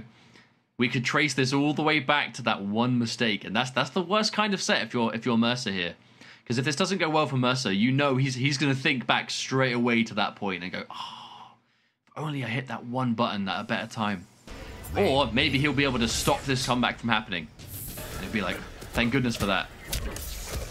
What about Omi? Definitely playing really well now. This execution getting crispier. Mistakes getting less for sure. Oh, hello. But this is where things get a little bit nervous for Mercer because he was working on so much momentum, but in the moment someone like Omi brings it back in the fashion that he's done it, in a weird turn of events, you know, you are now the one on the back foot, even though you've spent a lot of the set being the one in control, right? But now he pressures. Oh, yeah, you want to challenge that, do you? Here comes the low. And the escape failed again, Mercer. So many grabs in his game plan, but that's a whip punish. And no defensive bar to break. So that's just going to be good damage on its own. Knocked down into more pressure, perhaps. And that's the pressure. As you can see, Omi, he just shows oh. respect on wake up and he just allows Mercer That to press. kill. No, that won't kill. That won't kill. One more. Oh, he delays the low. Double dash up as well. He is really trying to look for He's it. dead. And there it is again. Omi. No Boom. bar though. The whip. Oh. oh, he did not need to crushing blow that, but you know what? He'll take it. That is match point. Okay, okay. Question: Instinctive hold or mash? Mash. Mash. respect it. I respect I it. think, I respect think it. so. It won the game, though. It won the game. Oh, no. Mercer, one, two, four. He gets the combo he's been looking for all game long. No drops this time. And Mercer trying so hard to fight his way out of this bad situation. Is he going to spend? Oh. Oh no, he already had it. I didn't even realize. Yes, he did. He built it in round one. Okay, back threes. Mercer. Can he bring this one back? Omi, his reactions have been so good. His flawless blocks immaculate. But now, he is about to get his fatal blow. Tries to commit to the whole thing, but he can't. There's no defensive bar either. Spend it. Yeah. And we cash out. Final round. Both sides, Mustard. We'll see. Scorpion or Sub-Zero, who will win?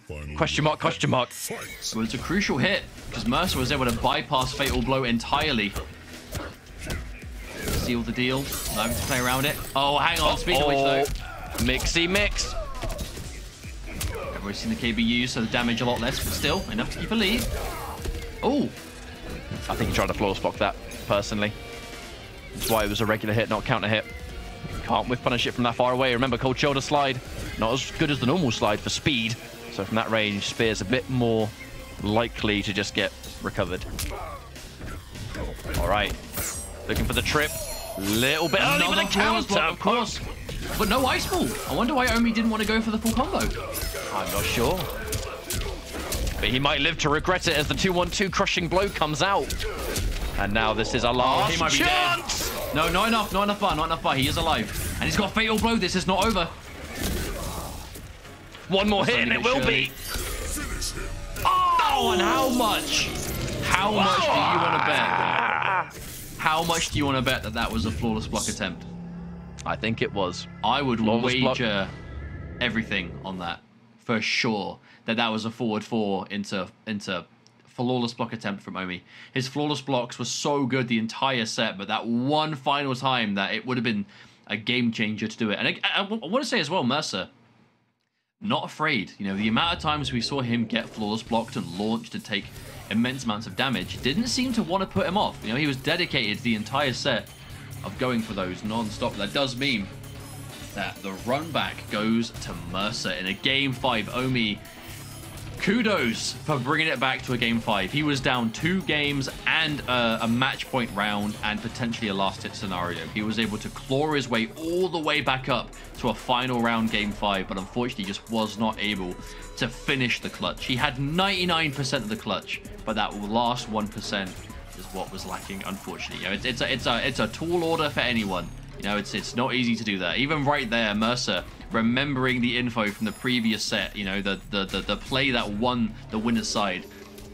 The freeze into jump two, into delay, into overhead for the reset. You know, the cheeky stuff. And there it is, Mercer.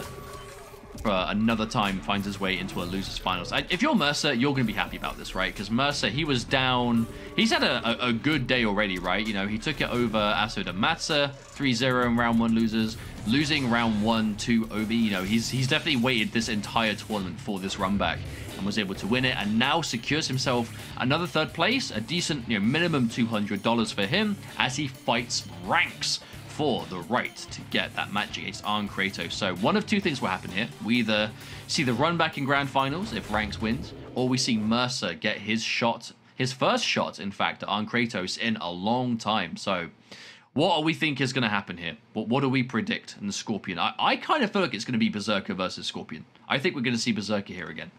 I think so. No, because you look at what normally inspires um, any kind of other matchup apart from the Baraka from ranks, and let's kind of look at it. So we saw the Shang Tsung. There's no way ranks was going to want to fight Warlock versus Baraka. So he went Sub Zero to cover both variations of Shang. And every other time he fights a hardcore zoner that's not Shang, uh, he has gone in with uh, the Raiden for the teleport. It's always Thunderwave, isn't it? And I think the reason for that is because he wants to have the counter zoning. But again, Scorpion, there's nothing Scorpion has that says, you know, I need to use anything that's not Baraka because you can brawl with Scorpion, you can fight Scorpion with it. So uh, I do think there's a good chance of seeing it. But Oh, so, gonna... so does chat. That's a practically Yeah. an 80% poll result in favor of Mercer. I mean, Mercer has a lot of fans. Mercer's got a lot of fans. Ranks given it, I think. Who's it going to be? Baraka? Raiden? I mean, it could be so many characters on this part of the character select, but okay, Berserker is coming out. Do you think that's Berserker? how Ranks like made his character choices? He was He just, just like this this of row of select. characters. That's who I'm playing. I'm only Maybe. playing this row. Maybe. Maybe. But here we go. right. Losers finals. Whoever wins Losers this finals series. October monthly Grand finals. finals. We'll see who gets it. Who gets to fight on Kratos? We'll find out, mate. Thank you all very much for joining us, by the way. Hopefully you're having a good time and you have whatever Halloween plans, whatever the case might be. We're going to start things off by watching some Mortal Kombat. I think that's a good idea. And if you are doing anything for Halloween, for goodness sake, do it responsibly. Social distancing doesn't just take a day off because it's Halloween. Anyway, here comes the spear. Full combo now. And we're going to go just poke for poke so far. The trip guard of the teleport, the Mercer special. Always looking to punish that jump in. Oh, there's that forward too. Immediately And just even, letting the even string rock. 140 damage for that, honestly, isn't bad either. That- and that's that's one of the, the scary things about the damage that Berserker gets. It really emphasizes how much damage Baraka's strings themselves actually do. Oh! Now that is the range you're going to see the block late the most, because you're used to kind of like going in and out of block, kind of waiting for forward four. Almost like the, the same effect of like Cassie's shoulder. The dash up getting checked again, Mercer. That's something that Russian players do a lot as well, I've noticed, especially in open series. You see a lot from Desarted, a lot from Mercer, a lot from Mind Kratos. Pokes to check forward movement, and there it is. Oh! Fatal blow. Now, this will scale heavily because it started off a launch. Mercer, I don't think he uh, could have broke here. One percent Yeah, in one it. bar. But he can't throw anything to finish off. Oh, yeah, but he can from that range.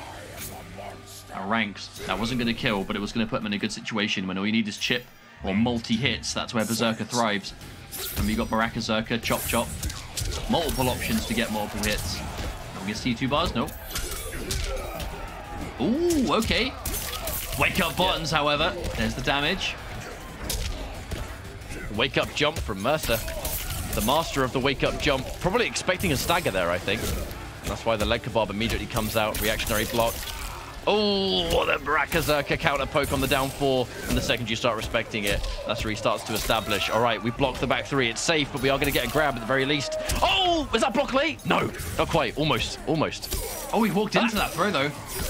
Rank's definitely getting eager to finish this one. Flawless block! No, Mercer is getting flawless blocked. Non-stop today. Did you hear that? That is crazy. What? Uh, did you hear the toasty, by the way? No? Uh, if you ever go back and check the tapes, the second that down two came out after the finishing pause, you had the toasty. Yeah, that, that happens on the tournament stage. I, I know, I love it. I, I know it plays on the tournament stage, but the fact that it played there right as the game ended after the flawless block was like, mwah, chef's kiss. It has Cherry the on top. lowest. It has the it has the lower lower chance of happening, obviously overall in this game, but it only happens on that one stage. So you know, I'm sad that I missed it, but it is what it is. Scorpion. Still though, Mercer, these flawless block gaps. Now that has been one thing that Mercer's done all day. He's been getting flawless blocked non-stop, but it hasn't it hasn't stopped him from doing the strings. I think he's kind of been okay to let you do it. Because here's the thing: getting flawless blocked is only a big deal against like like you're taking damage, but you're taking damage from an like an up two, so it scales a lot and it costs half the resources to do it. So I think sometimes you're almost like not afraid to get hit by it because you're not going to get hurt that much and they've lost their ability to break away if you now hit them so it can be a bit of a you know toss up as to whether it's worth it or not to even just take the damage and accept the risk the problem is even with like this you know baraka that fatal blow does a lot of damage um, you can cash out if you want as well like I feel like Baraka, even though it's not Marauder, still doesn't tickle from his flawless, uh, from his flawless block launches. But you just get to see wonderful different styles from all Baraka players. Um, there seems to be such a diverse group of Baraka players in competitive that they all seem to specialize in one variation, don't they? You know, whether it was the stunner, the pro stunner with the Marauders, the biohazard with the bone picker. We can play players like Ranks with the Berserker. It's just but they all play the character so differently because of the variation they main. Baraka is definitely strange in that regard, where I don't think I can remember a Baraka player that actually plays more than one variation. Yes, they offer such distinct playstyles. Oh, but the hit, off to crushing blow as well, didn't want to commit. I think maybe from that range, you have to remember, Baraka's forward four from max range is actually plus on block, so maybe he's trying to like tempt that distance. Fatal blow though. Blocked himself into it, but the, oh, commitment.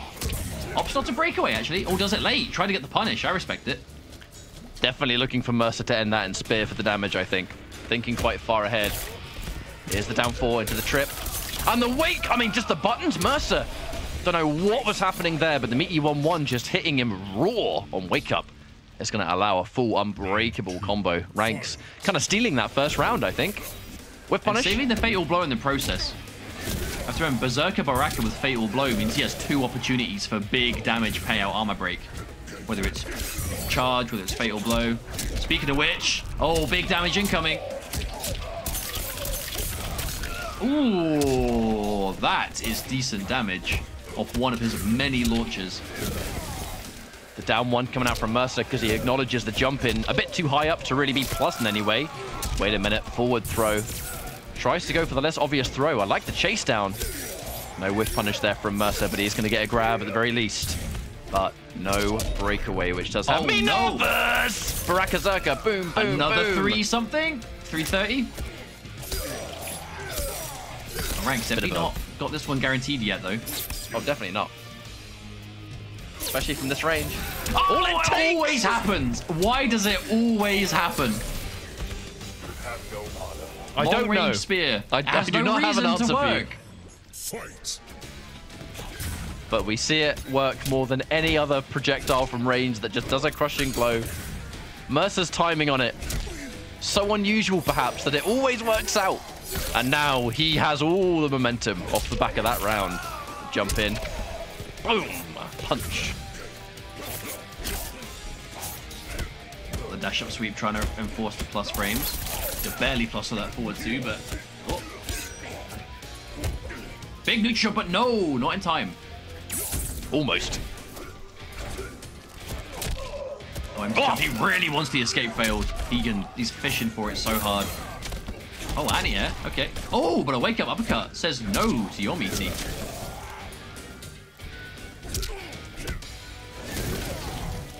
Uh-oh. That back three going right underneath the poke. Here comes Mercer's opportunity, I think. Also looking at the fact that Ranks, he has a breakaway. Mercer does not. Instant air to air.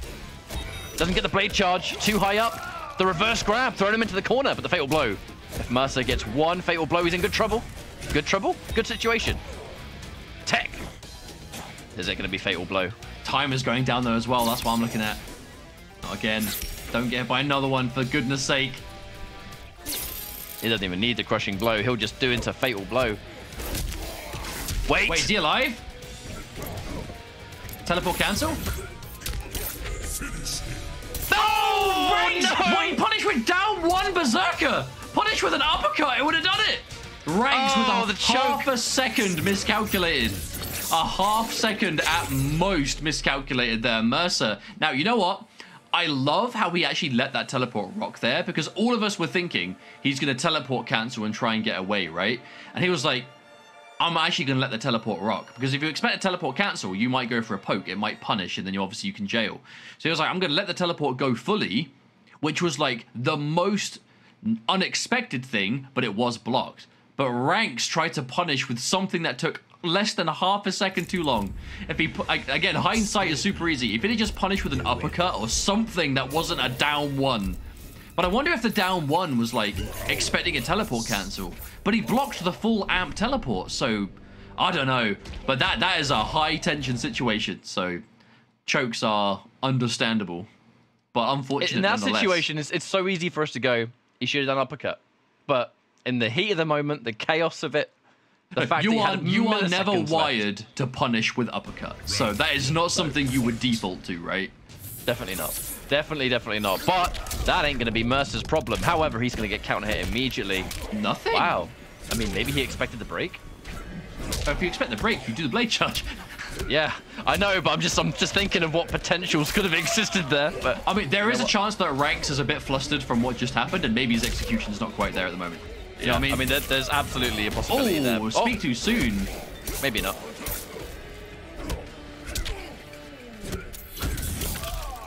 Oh, Okay, well, all right. Yeah, we're we're oh no, well, we're just talking mess. Oh, the pickup! Second foul. Did you see that? Me down one. Wow. That's one Now way that, to recover. that was a round to absolutely just undo what just happened. You know what I mean? Let's pick.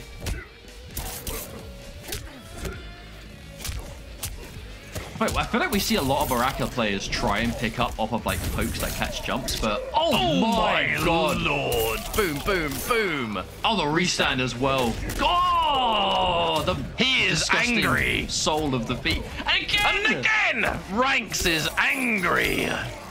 He is hungry. blocks are actually from the future. But Mercer, we are seeing the flawless blocks, but he is bringing himself back into this matchup. And he waits for the roll, the down one, the escape into the back three. Now Fatal Blow's ready to go for Mercer. He can definitely take this round. Uh, if Ranks loses this round, that'd be tragic. Namus again flinging out that spear. Oh no! Counter hits the start of that poke.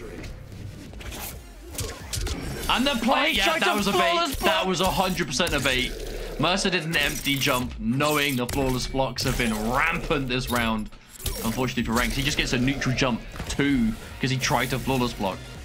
And that is Mercer playing around the momentum, 100%. Fight. Using it against you.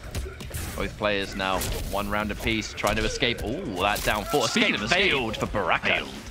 Uh-oh, that's scary. Escape failed on both throws.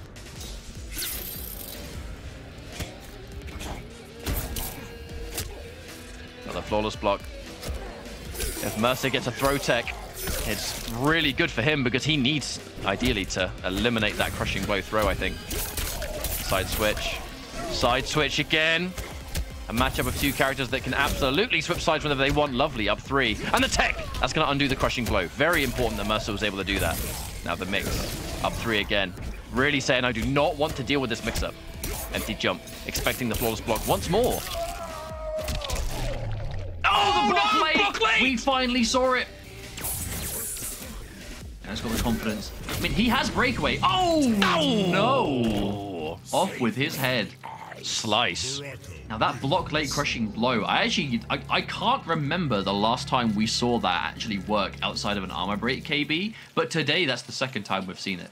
I feel like Ranks is like using it in a new way that he hasn't before, you know? I feel like he almost exclusively saved it as a armor breaking crushing blow and just ignored it in the neutral. But today we're seeing so much more of this neutral blade charge. But it's like right on the end. Like he's doing a good job of like uh, judging where the exact tip of that special is going to connect.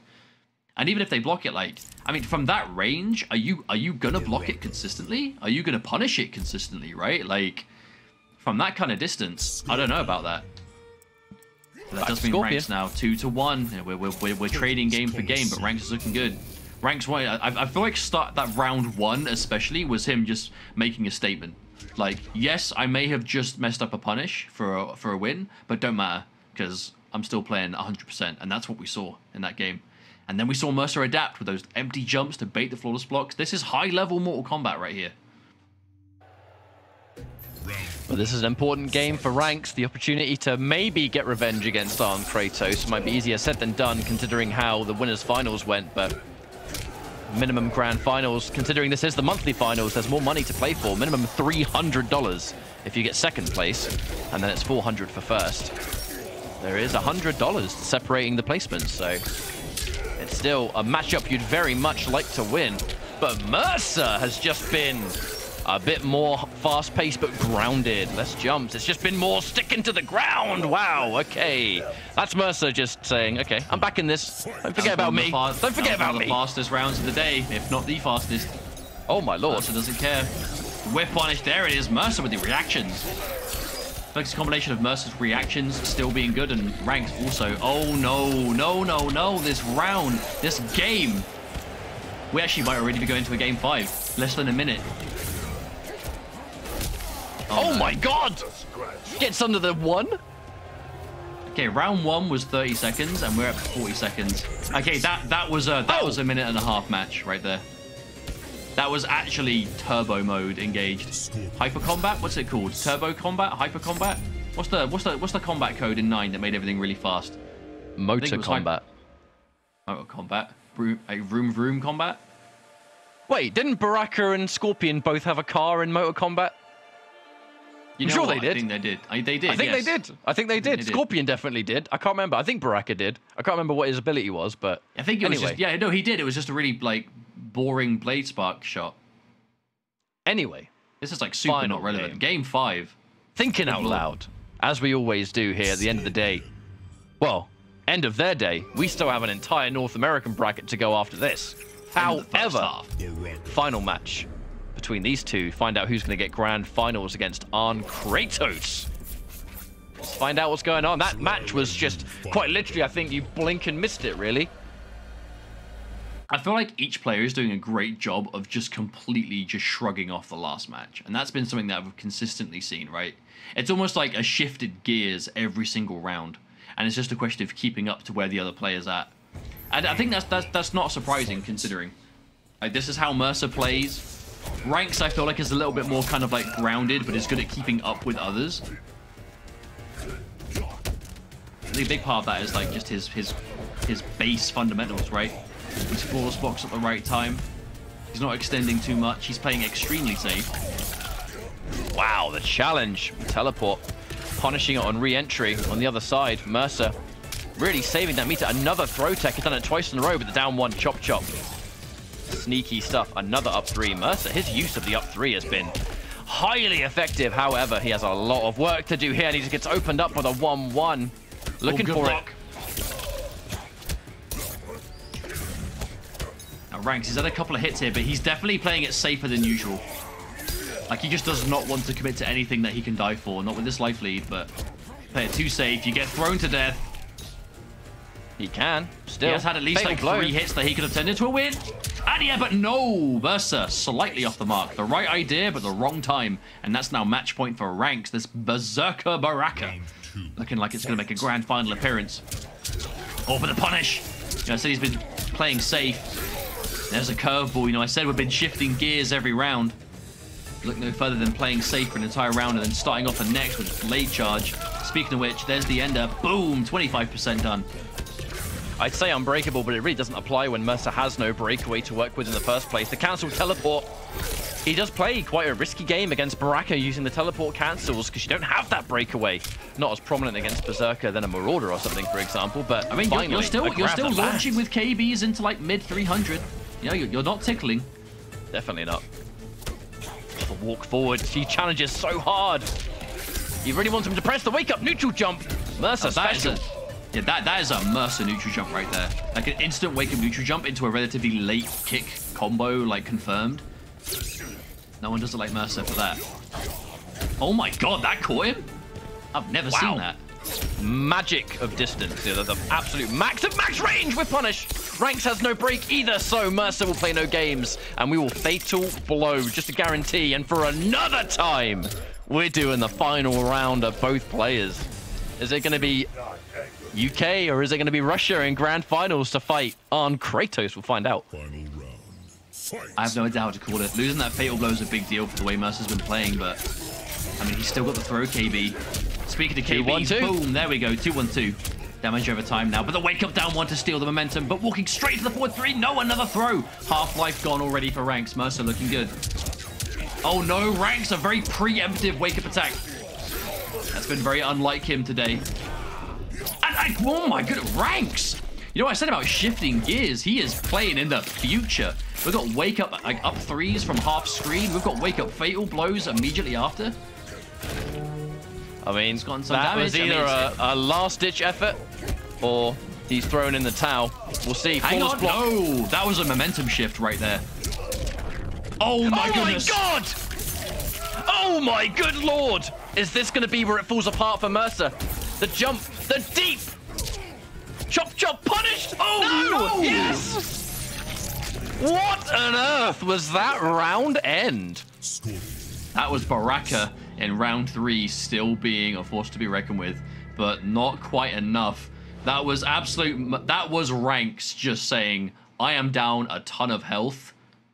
I am just gonna. I am just gonna go ham." And that is what we saw there. We saw wake up fatal blow connect after an up three completely whiffed. We then saw a flawless block into, and then we saw forward four KB chase down. Like that went from looking like it was impossible round for ranks to ranks actually can make the comeback in like seconds because of the, the crushing blow saved for the last round, the fatal blow saved. But unfortunately, down that like it, it, it was one risk too many. You know what I mean? It, it was one one dangerous play too many as we saw that down one into the fully held chop chop. I think if ranks didn't go for the full distance, there's maybe a chance Mercer. Because Mercer, he waited for the full time, saw the full time, and still didn't punish it with a full forward 3-4, right? He still went for a forward 3, didn't follow up, and then did a throw instead. That throw wasn't guaranteed. So, I don't know. I feel like we could have gone a little bit wilder at the end, even still after what happened. But what a set. That was absolutely one of the funnest sets we've watched today. That was really good ranks. You know, sad to see him drop down here. Definitely becoming one of my favorite players to watch, absolutely. But well played to Mercer. That was a, a, beautiful game five, and that does now confirm that we are seeing a fresh matchup today in our grand finals as Mercer and Arn Kratos will be duking it out to see who will be our October champion and taking home that $400 prize. Will Arn Kratos get another one? Or will Mercer get his first monthly win? This is a matchup we've seen go both ways in the past, so I'm definitely not going to say it's an obvious win for Arn Kratos, but who knows? We will find out uh, after this upcoming break while we get this grand final ready. But for you know the final time for EU, before we do go to a break, I want to remind all of you lovely people watching, whether it be Twitch or YouTube, that you can enter the Open Series yourself. It is not just Mortal Kombat. There are multiple games, multiple fighting games, in fact, and all the info you oh, need. Yeah especially on how to do it for Mortal Kombat. It's on compete.playstation.com. You just need a PS4 and a connection to the internet, and you're pretty much going to be sorted. It could not be simpler to get involved and take part in. It's certainly a lot more streamlined than back in the day when we used to play in tournaments. Um, but we cannot recommend it enough. It's a great starting point, or if you're a competitive player looking to win some money, it's a great play at winning some cash.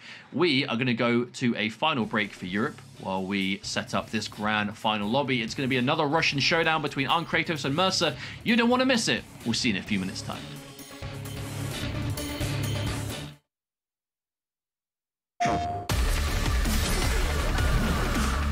The PS4 Tournament's Open Series has been full of fantastic finishes, killer combos, and a friendship or two. Let's go, friendship! That's what I'm talking about! We've seen promising new players and household names continue to dominate. This cannot be a full life comeback, surely, surely not. not. I refuse to believe it. Oh, oh Blurko, the reverse sweep! Do not miss a single moment of the PS4 Tournament's Open Series. PlayStation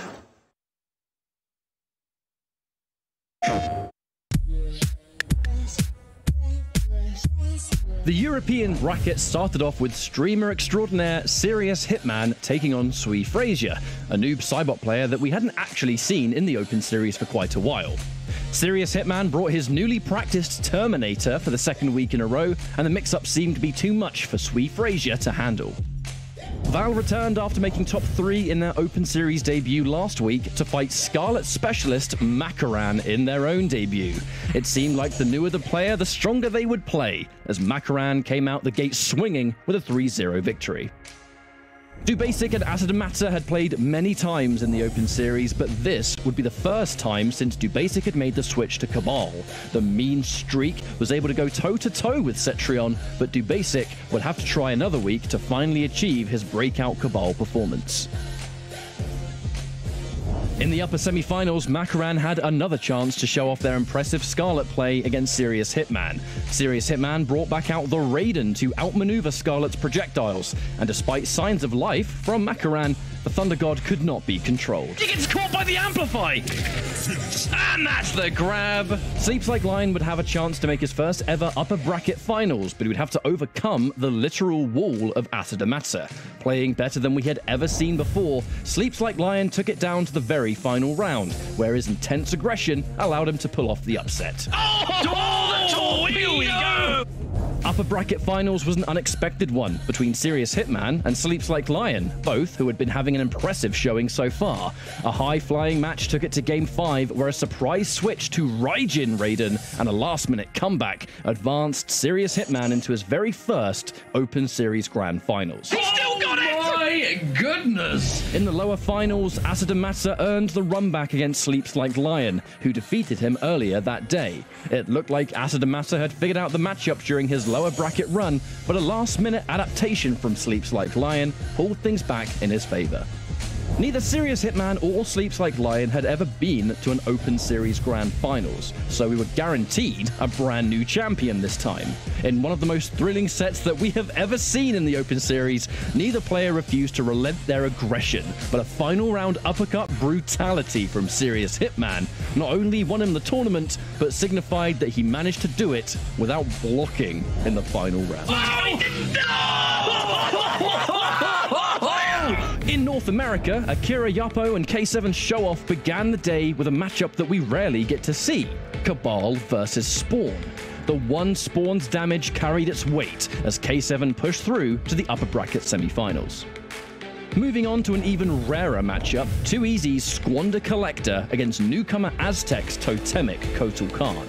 Aztec gave a masterclass in the power of Totemic in his Open Series debut, dominating the set with a clean 3 0.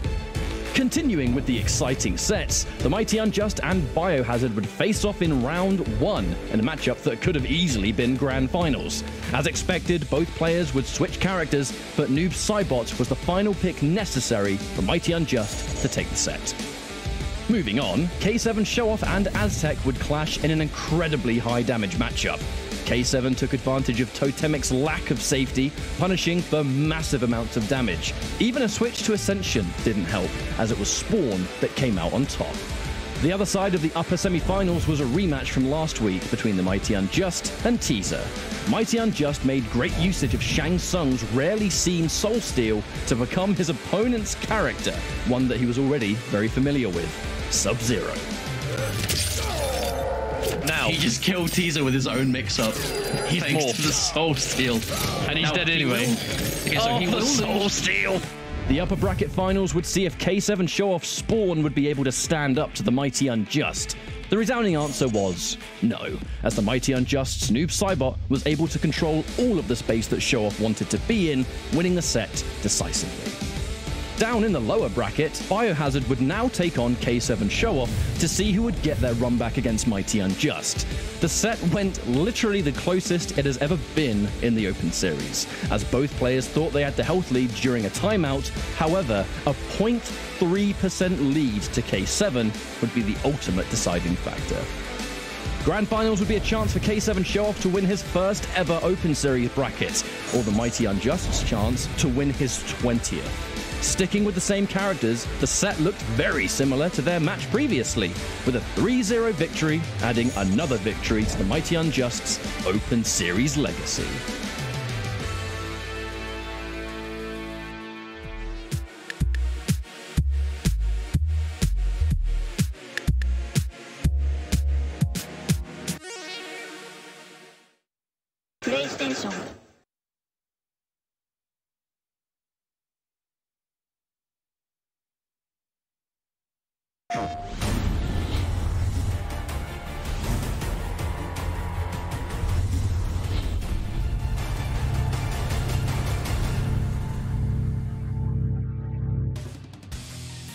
Welcome back, everybody, to the PS4 Tournament's MK11 Open Series monthly finals for October, where the grand finals between Mercer and Arn Kratos is just about to begin. So, Arn Kratos Mustard is going into this as the favorite, as he always does. Do we think Mercer has a chance here to put a dent in that armor? A chance, yes. Likely, I'm not sure.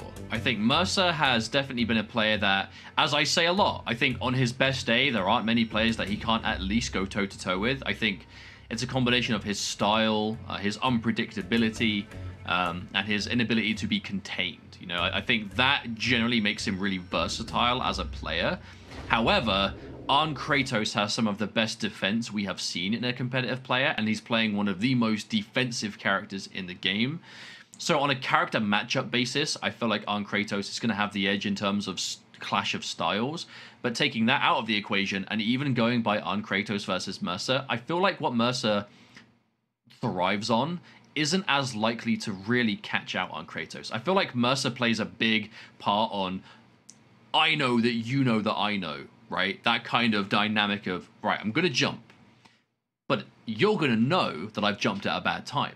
So I'm going to go for a teleport if I think you're going to anti it. But you're going to know that I'm going to do that, so I'm going to not teleport. But then maybe it'll be an empty jump because I think that you're going to expect that. I'm going to flawless block, so I'm going to make sure I don't do a button. You know what I mean? Those kind of like layers upon layers upon layers upon layers.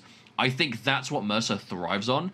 And I think Arn Kratos is just too good at picking the most likely option, the safest option for him, and committing, right? And he also, on defense, option selects a ton of his stuff which covers a lot of those options together. Matchup wise, Mercer has beaten Arn Kratos in the past, but the last at least couple of times they've played since then, Arn Kratos has seemed to win convincingly. Even the time that Mercer beat Arn Kratos, Arn Kratos then ran it back in the same tournament. So I think overall the evidence is pointing to Arn Kratos being the favorite to take this still. I think Mercer can absolutely have what it takes, but I think if we're going by just consistency and reliability, my money is on Arn Kratos here. I would be expecting if there are any games taken, maybe a 3-1 is the kind of safe bet. A 3-0 is kind of what I, I genuinely believe we could see here. Um, he's got him with the Warlock, though. Now, Kratos does have faith in this matchup. There was a time where he used to use solely to exclusively for Scorpion. Uh, but the more and more he's playing the matchup, the more we are actually starting to see him pick uh, Warlock anyway. Um, I think if Mercer gets a game, I think it could be 3-1. You know, I think if there is a get, if there's a situation where Mercer gets any matches here, I just think the 3-1 is the safe bet. Um, but we'll see how this goes. Arn Kratos, clear favorite as far as I'm concerned. He's been the favourite of the Open Series all the time, and he continues to be. Nice to see Mercer get grand finals again. It's been a while since we've seen Mercer right here. I know he had that Brit, that insane week where he was just the slayer of all jackies, but um, haven't seen him in a while, so it's good to have him back. Well, it's, it is like we've we mentioned before, right? Mercer, we haven't seen him on the stream in a while, but he's always playing every week. And, you know, a lot of the time we, we will check the Monday tournaments to see how the results went for the players that qualified. And Mercer's always up there. He's just like, what, you know, he got one loss, whereas everyone else got zero losses. Or maybe he got, you know, he just wasn't quite in the running for it, right? He's always super close. Like, Mercer is absolutely still in the trenches, you know, like, like, like putting in that time.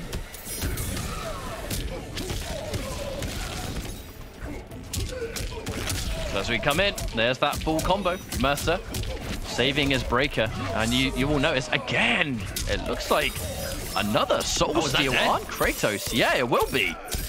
Big damage to return. Arn Kratos has more and more started to play a lot of Soul Steal in his game plan. Have you noticed that? I I, I, do find it quite confusing if I'm being mm. honest, because like when I see him like morph into characters we know he plays, so like when he when he plays the mirror, he morphs all the time, or when he plays like other characters we know he's dabbled in, seeing him morph in the Scorpion matchup, I find quite confusing. Because I feel like that's the point of the Soul Steal, right? And that, and that has historically been Shang Tsung. He's always been able to morph, but it's never really been a mandatory part of his kit. It's just there if you want to do it. But in this game, right, you know, the crushing blows and the different things that it can kind of cater to, oh, just out of the range. But no, big jumping kick. It's definitely more matchup dependent, I think. Maybe the idea of morphing into Scorpion is like, look, I'm going to morph into Scorpion, throw out a couple of forward 3-4s, right? You know, throw out some buttons, fish for counter hits, maybe get some damage.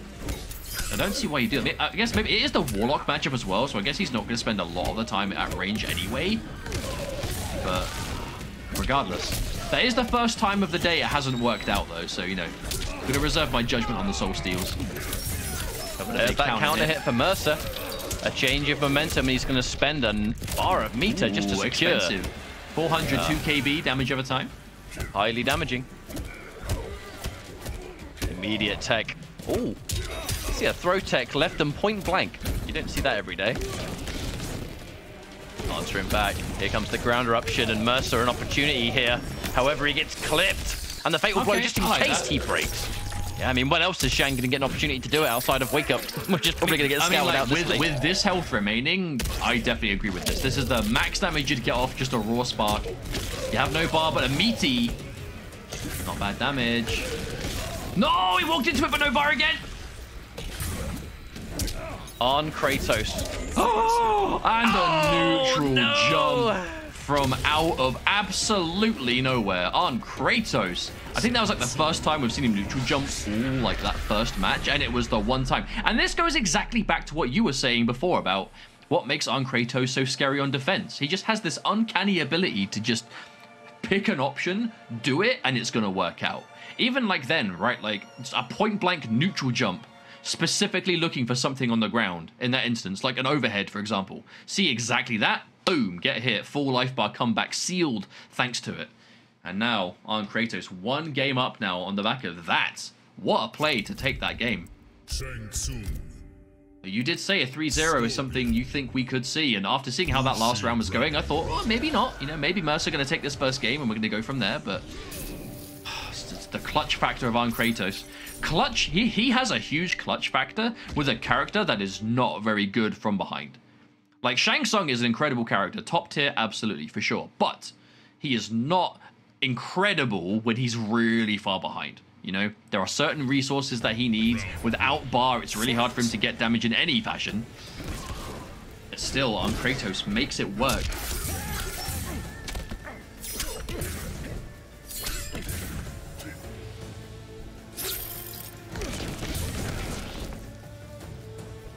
We're actually seeing him amplify ground eruption and neutral as well. We don't normally see him do that. I think he really wants to establish that threat on that third fireball. Cool, the walk out, walk in. Man's playing MK1. Always, always.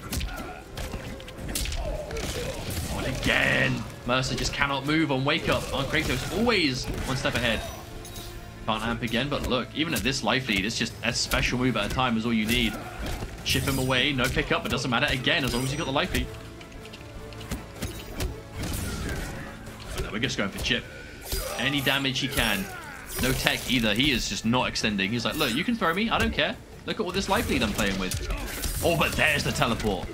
There's the anti-warlock special. Now Mercer has the potential to come back here with the fatal blow locked in. You always know.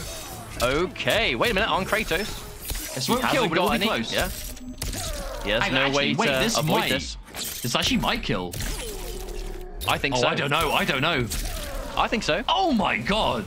I think Just it, it was just enough, yeah. I mean, because you normally you're so used to seeing a combo have that many hits, and you expect it to scale. But in that instance, you kind of just think, surely, if it wouldn't have killed, Mercer wouldn't have done it. You know, I have faith in him. I have faith in his decision making. I thought maybe for he was just trying to set up like the next strike through kill situation because Arn Kratos, like I don't think he even had a bar of defense.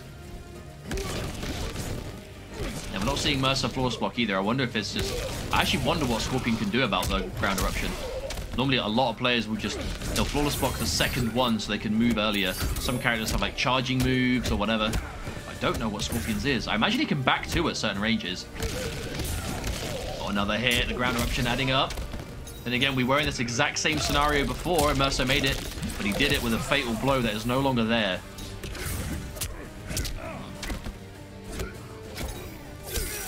Oh. Escape failed. That'll make up for it. Does the momentum begin? Oh, there is. No, I I think it is no, it is no coincidence that the first time we've seen Mercer go for the flawless block bait is against a player that he has played many times.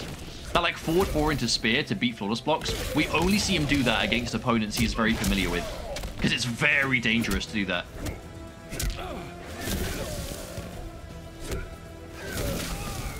Okay, okay, low into overhead.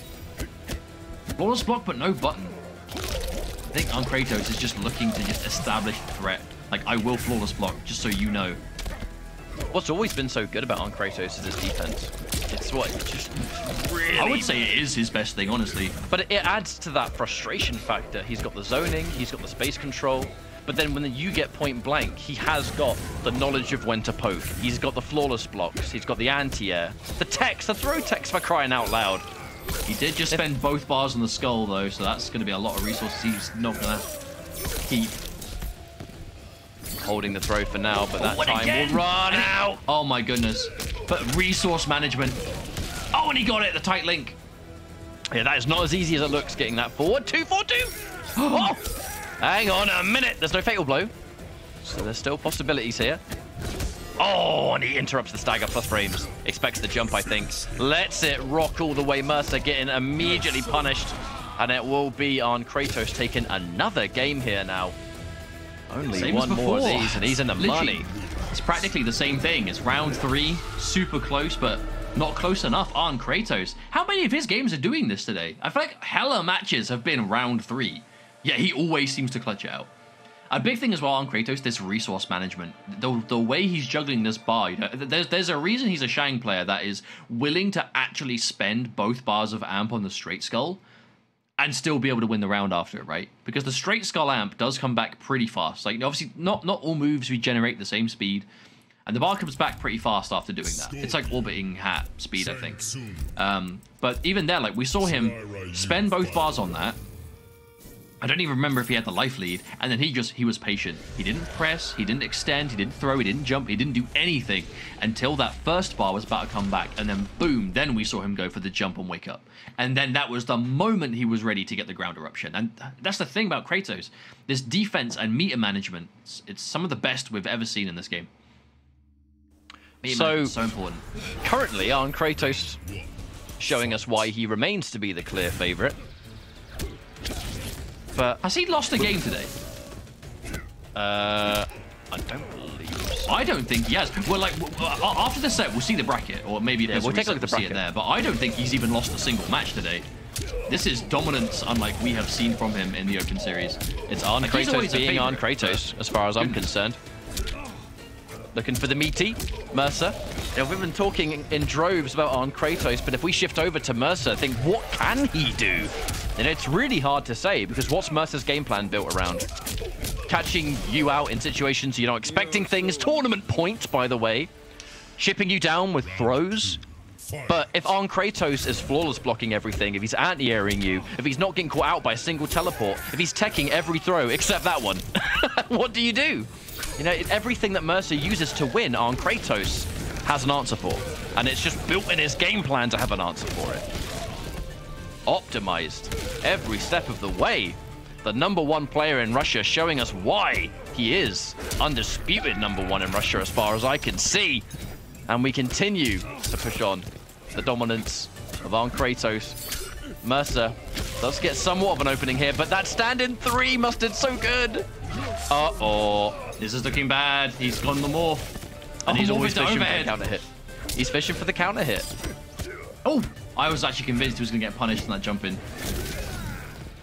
Mercer has to fight for his life. He has the fatal blow, but the defense. Oh, hang on a minute. There it is. There it is. He's alive. He's alive. Spend that fatal blow. There it is. Boom. Okay, Mercer. He is not done yet. This is going to absolutely more than secure the round. And again, but how many times have we been in this situation, Ryan? Round three, no fatal blow for Mercer. Final round. The tournament point continues to exist for Arn Kratos, though. Quite an expensive round for Mercer. Okay, escape failed again. Always looking towards these throws. But now Arn Kratos is not quite able to get the tech. Oh, there it is so, again. It's just so hard to tech from mid-screen because you haven't got any prior information. It is a complete 50-50. There's no other factors. Jump into grab, lovely tech from Mercer. And the air attempt. Oh, Mercer tried to do something there. And it's the flawless block Arn Kratos. He had the meter to up to it, but he just didn't. Whoa! oh, side switch. Oh, Definitely a ah. flawless block. A flawless block attempt, I think. The neutral jump into button press. Still low. There's the bar. Chip damage. Good flawless block.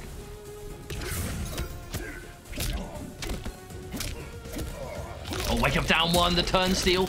Back through two. This is where Warlock can actually get some meterless conversions. That's the kind of damage you'll need. Big teleport anti-air. And Mercer might actually have this. Two one two. Enough to kill. Boom, boom, boom. Okay, ah. Mercer, he is not down yet. Okay. Another round three, the third round three game in a row. Same kind of thing. Fatal blow gone for Mercer. All those resources expired, but this time, the third time is the charm as he gets the, the game on the board two to one now. So we're not going to be seeing a 3-0 in this set, but for Mercer, this is merely the first stretch of the grand finals. You have to remember, he is in the loser side. He is going to have to reset the bracket first, so he's going to have to win this 3 out of 5. reset things, and then do it again. But if you're Arn Kratos, you're playing for one match. You are playing for one game at this point. That's all you need. But still, getting one game on the board is the perfect way to start this for Mercer. From that kind of deficit as well. Again, the same situation. Two games down and tournament point against him, still clutches it out. That is the kind of clutch you desperately need, and you need to keep it going when it works.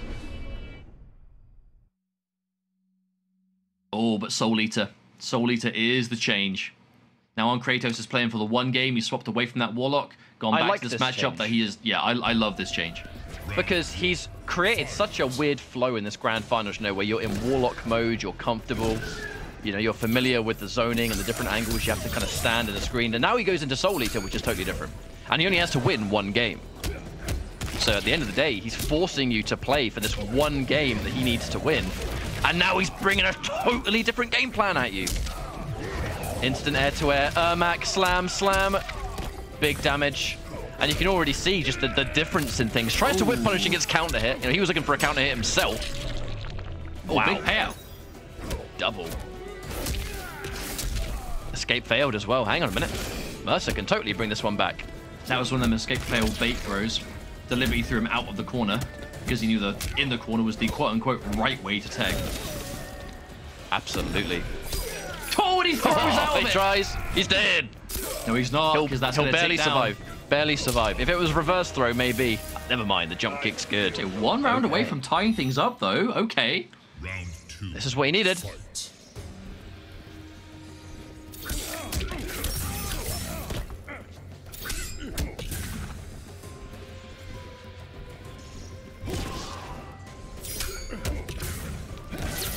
Mercer playing with a lot of respect and patience. He has to be so careful here. Lets the whole string rock just to be safe. You do definitely see players do that in MK11. They'll let the whole string go if it involves them moving forward out of danger. And it looks like Arn Kratos. No, but you, on you the can see how Mercer... equalized. Yeah, Mercer is so much more mobile now he knows he doesn't have to worry about walking into a ground eruption. Wake up, neutral jump. Oh, punish!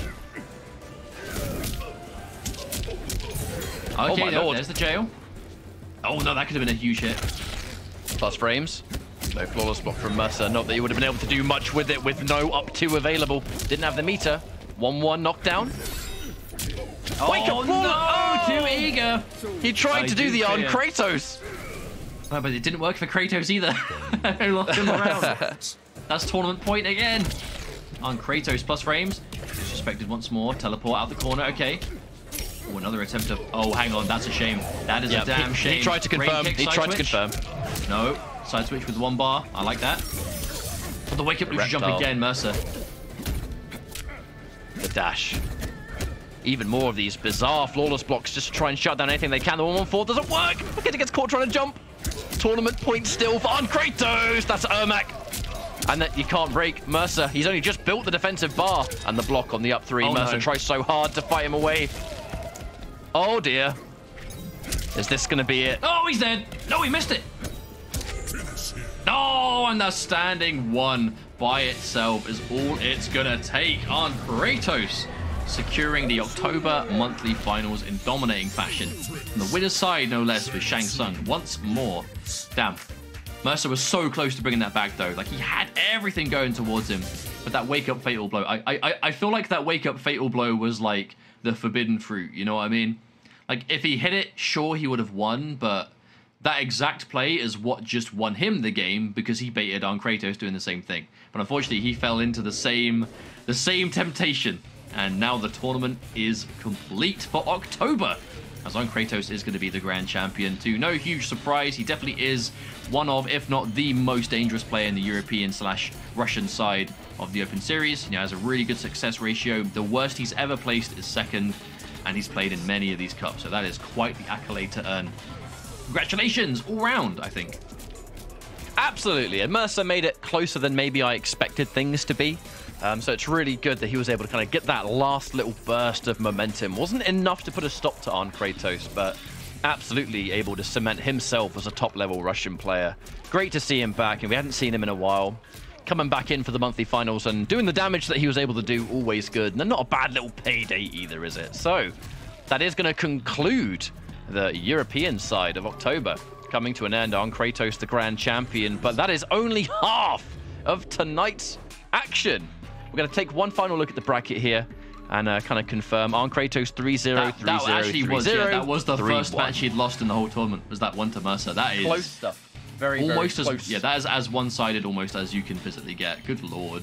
I mean, the, the, the final section um, of the tournament, I mean, every game seemed to be close, yet Arn Kratos is able to win, you know, the final matchup. That's kind of ridiculous. But, like I said, it's only half of today's action. We've got North America up next, which will be starting. The time zone changing in the UK has completely messed with my clock, but soon, as you can see there, 2 p.m. PT North America. About an hour and a half from now. About an hour and a half. About an hour and a half. And then November is where the combat will continue. And remember, November as well. Oh, things are going to change up some, aren't they? And it's not just Mortal Kombat that you can tune into the monthly finals for. There is BB Tag, there is Soulcalibur, and there's more fighting games where that came from. Compete.playstation.com. That's all the information that you need to get involved in these cups. And please do. We'd love to see you. And we'd love to commentate your matches and see you on stream. But for the first half of the day, that's all we have time for. We are going to now go for a bit of a refresh, grab a drink, grab some food, whatever the case may be, where you are in the world. Hopefully, everyone's staying safe and all that good stuff. And uh, we will be back shortly for some North America monthly finals. Thanks for watching. If you are going to stick around, please do. We'd love to see you. And North America promises to be just as exciting. Yes. With all the continuing storylines. So, go take a break. We'll be back soon for North America.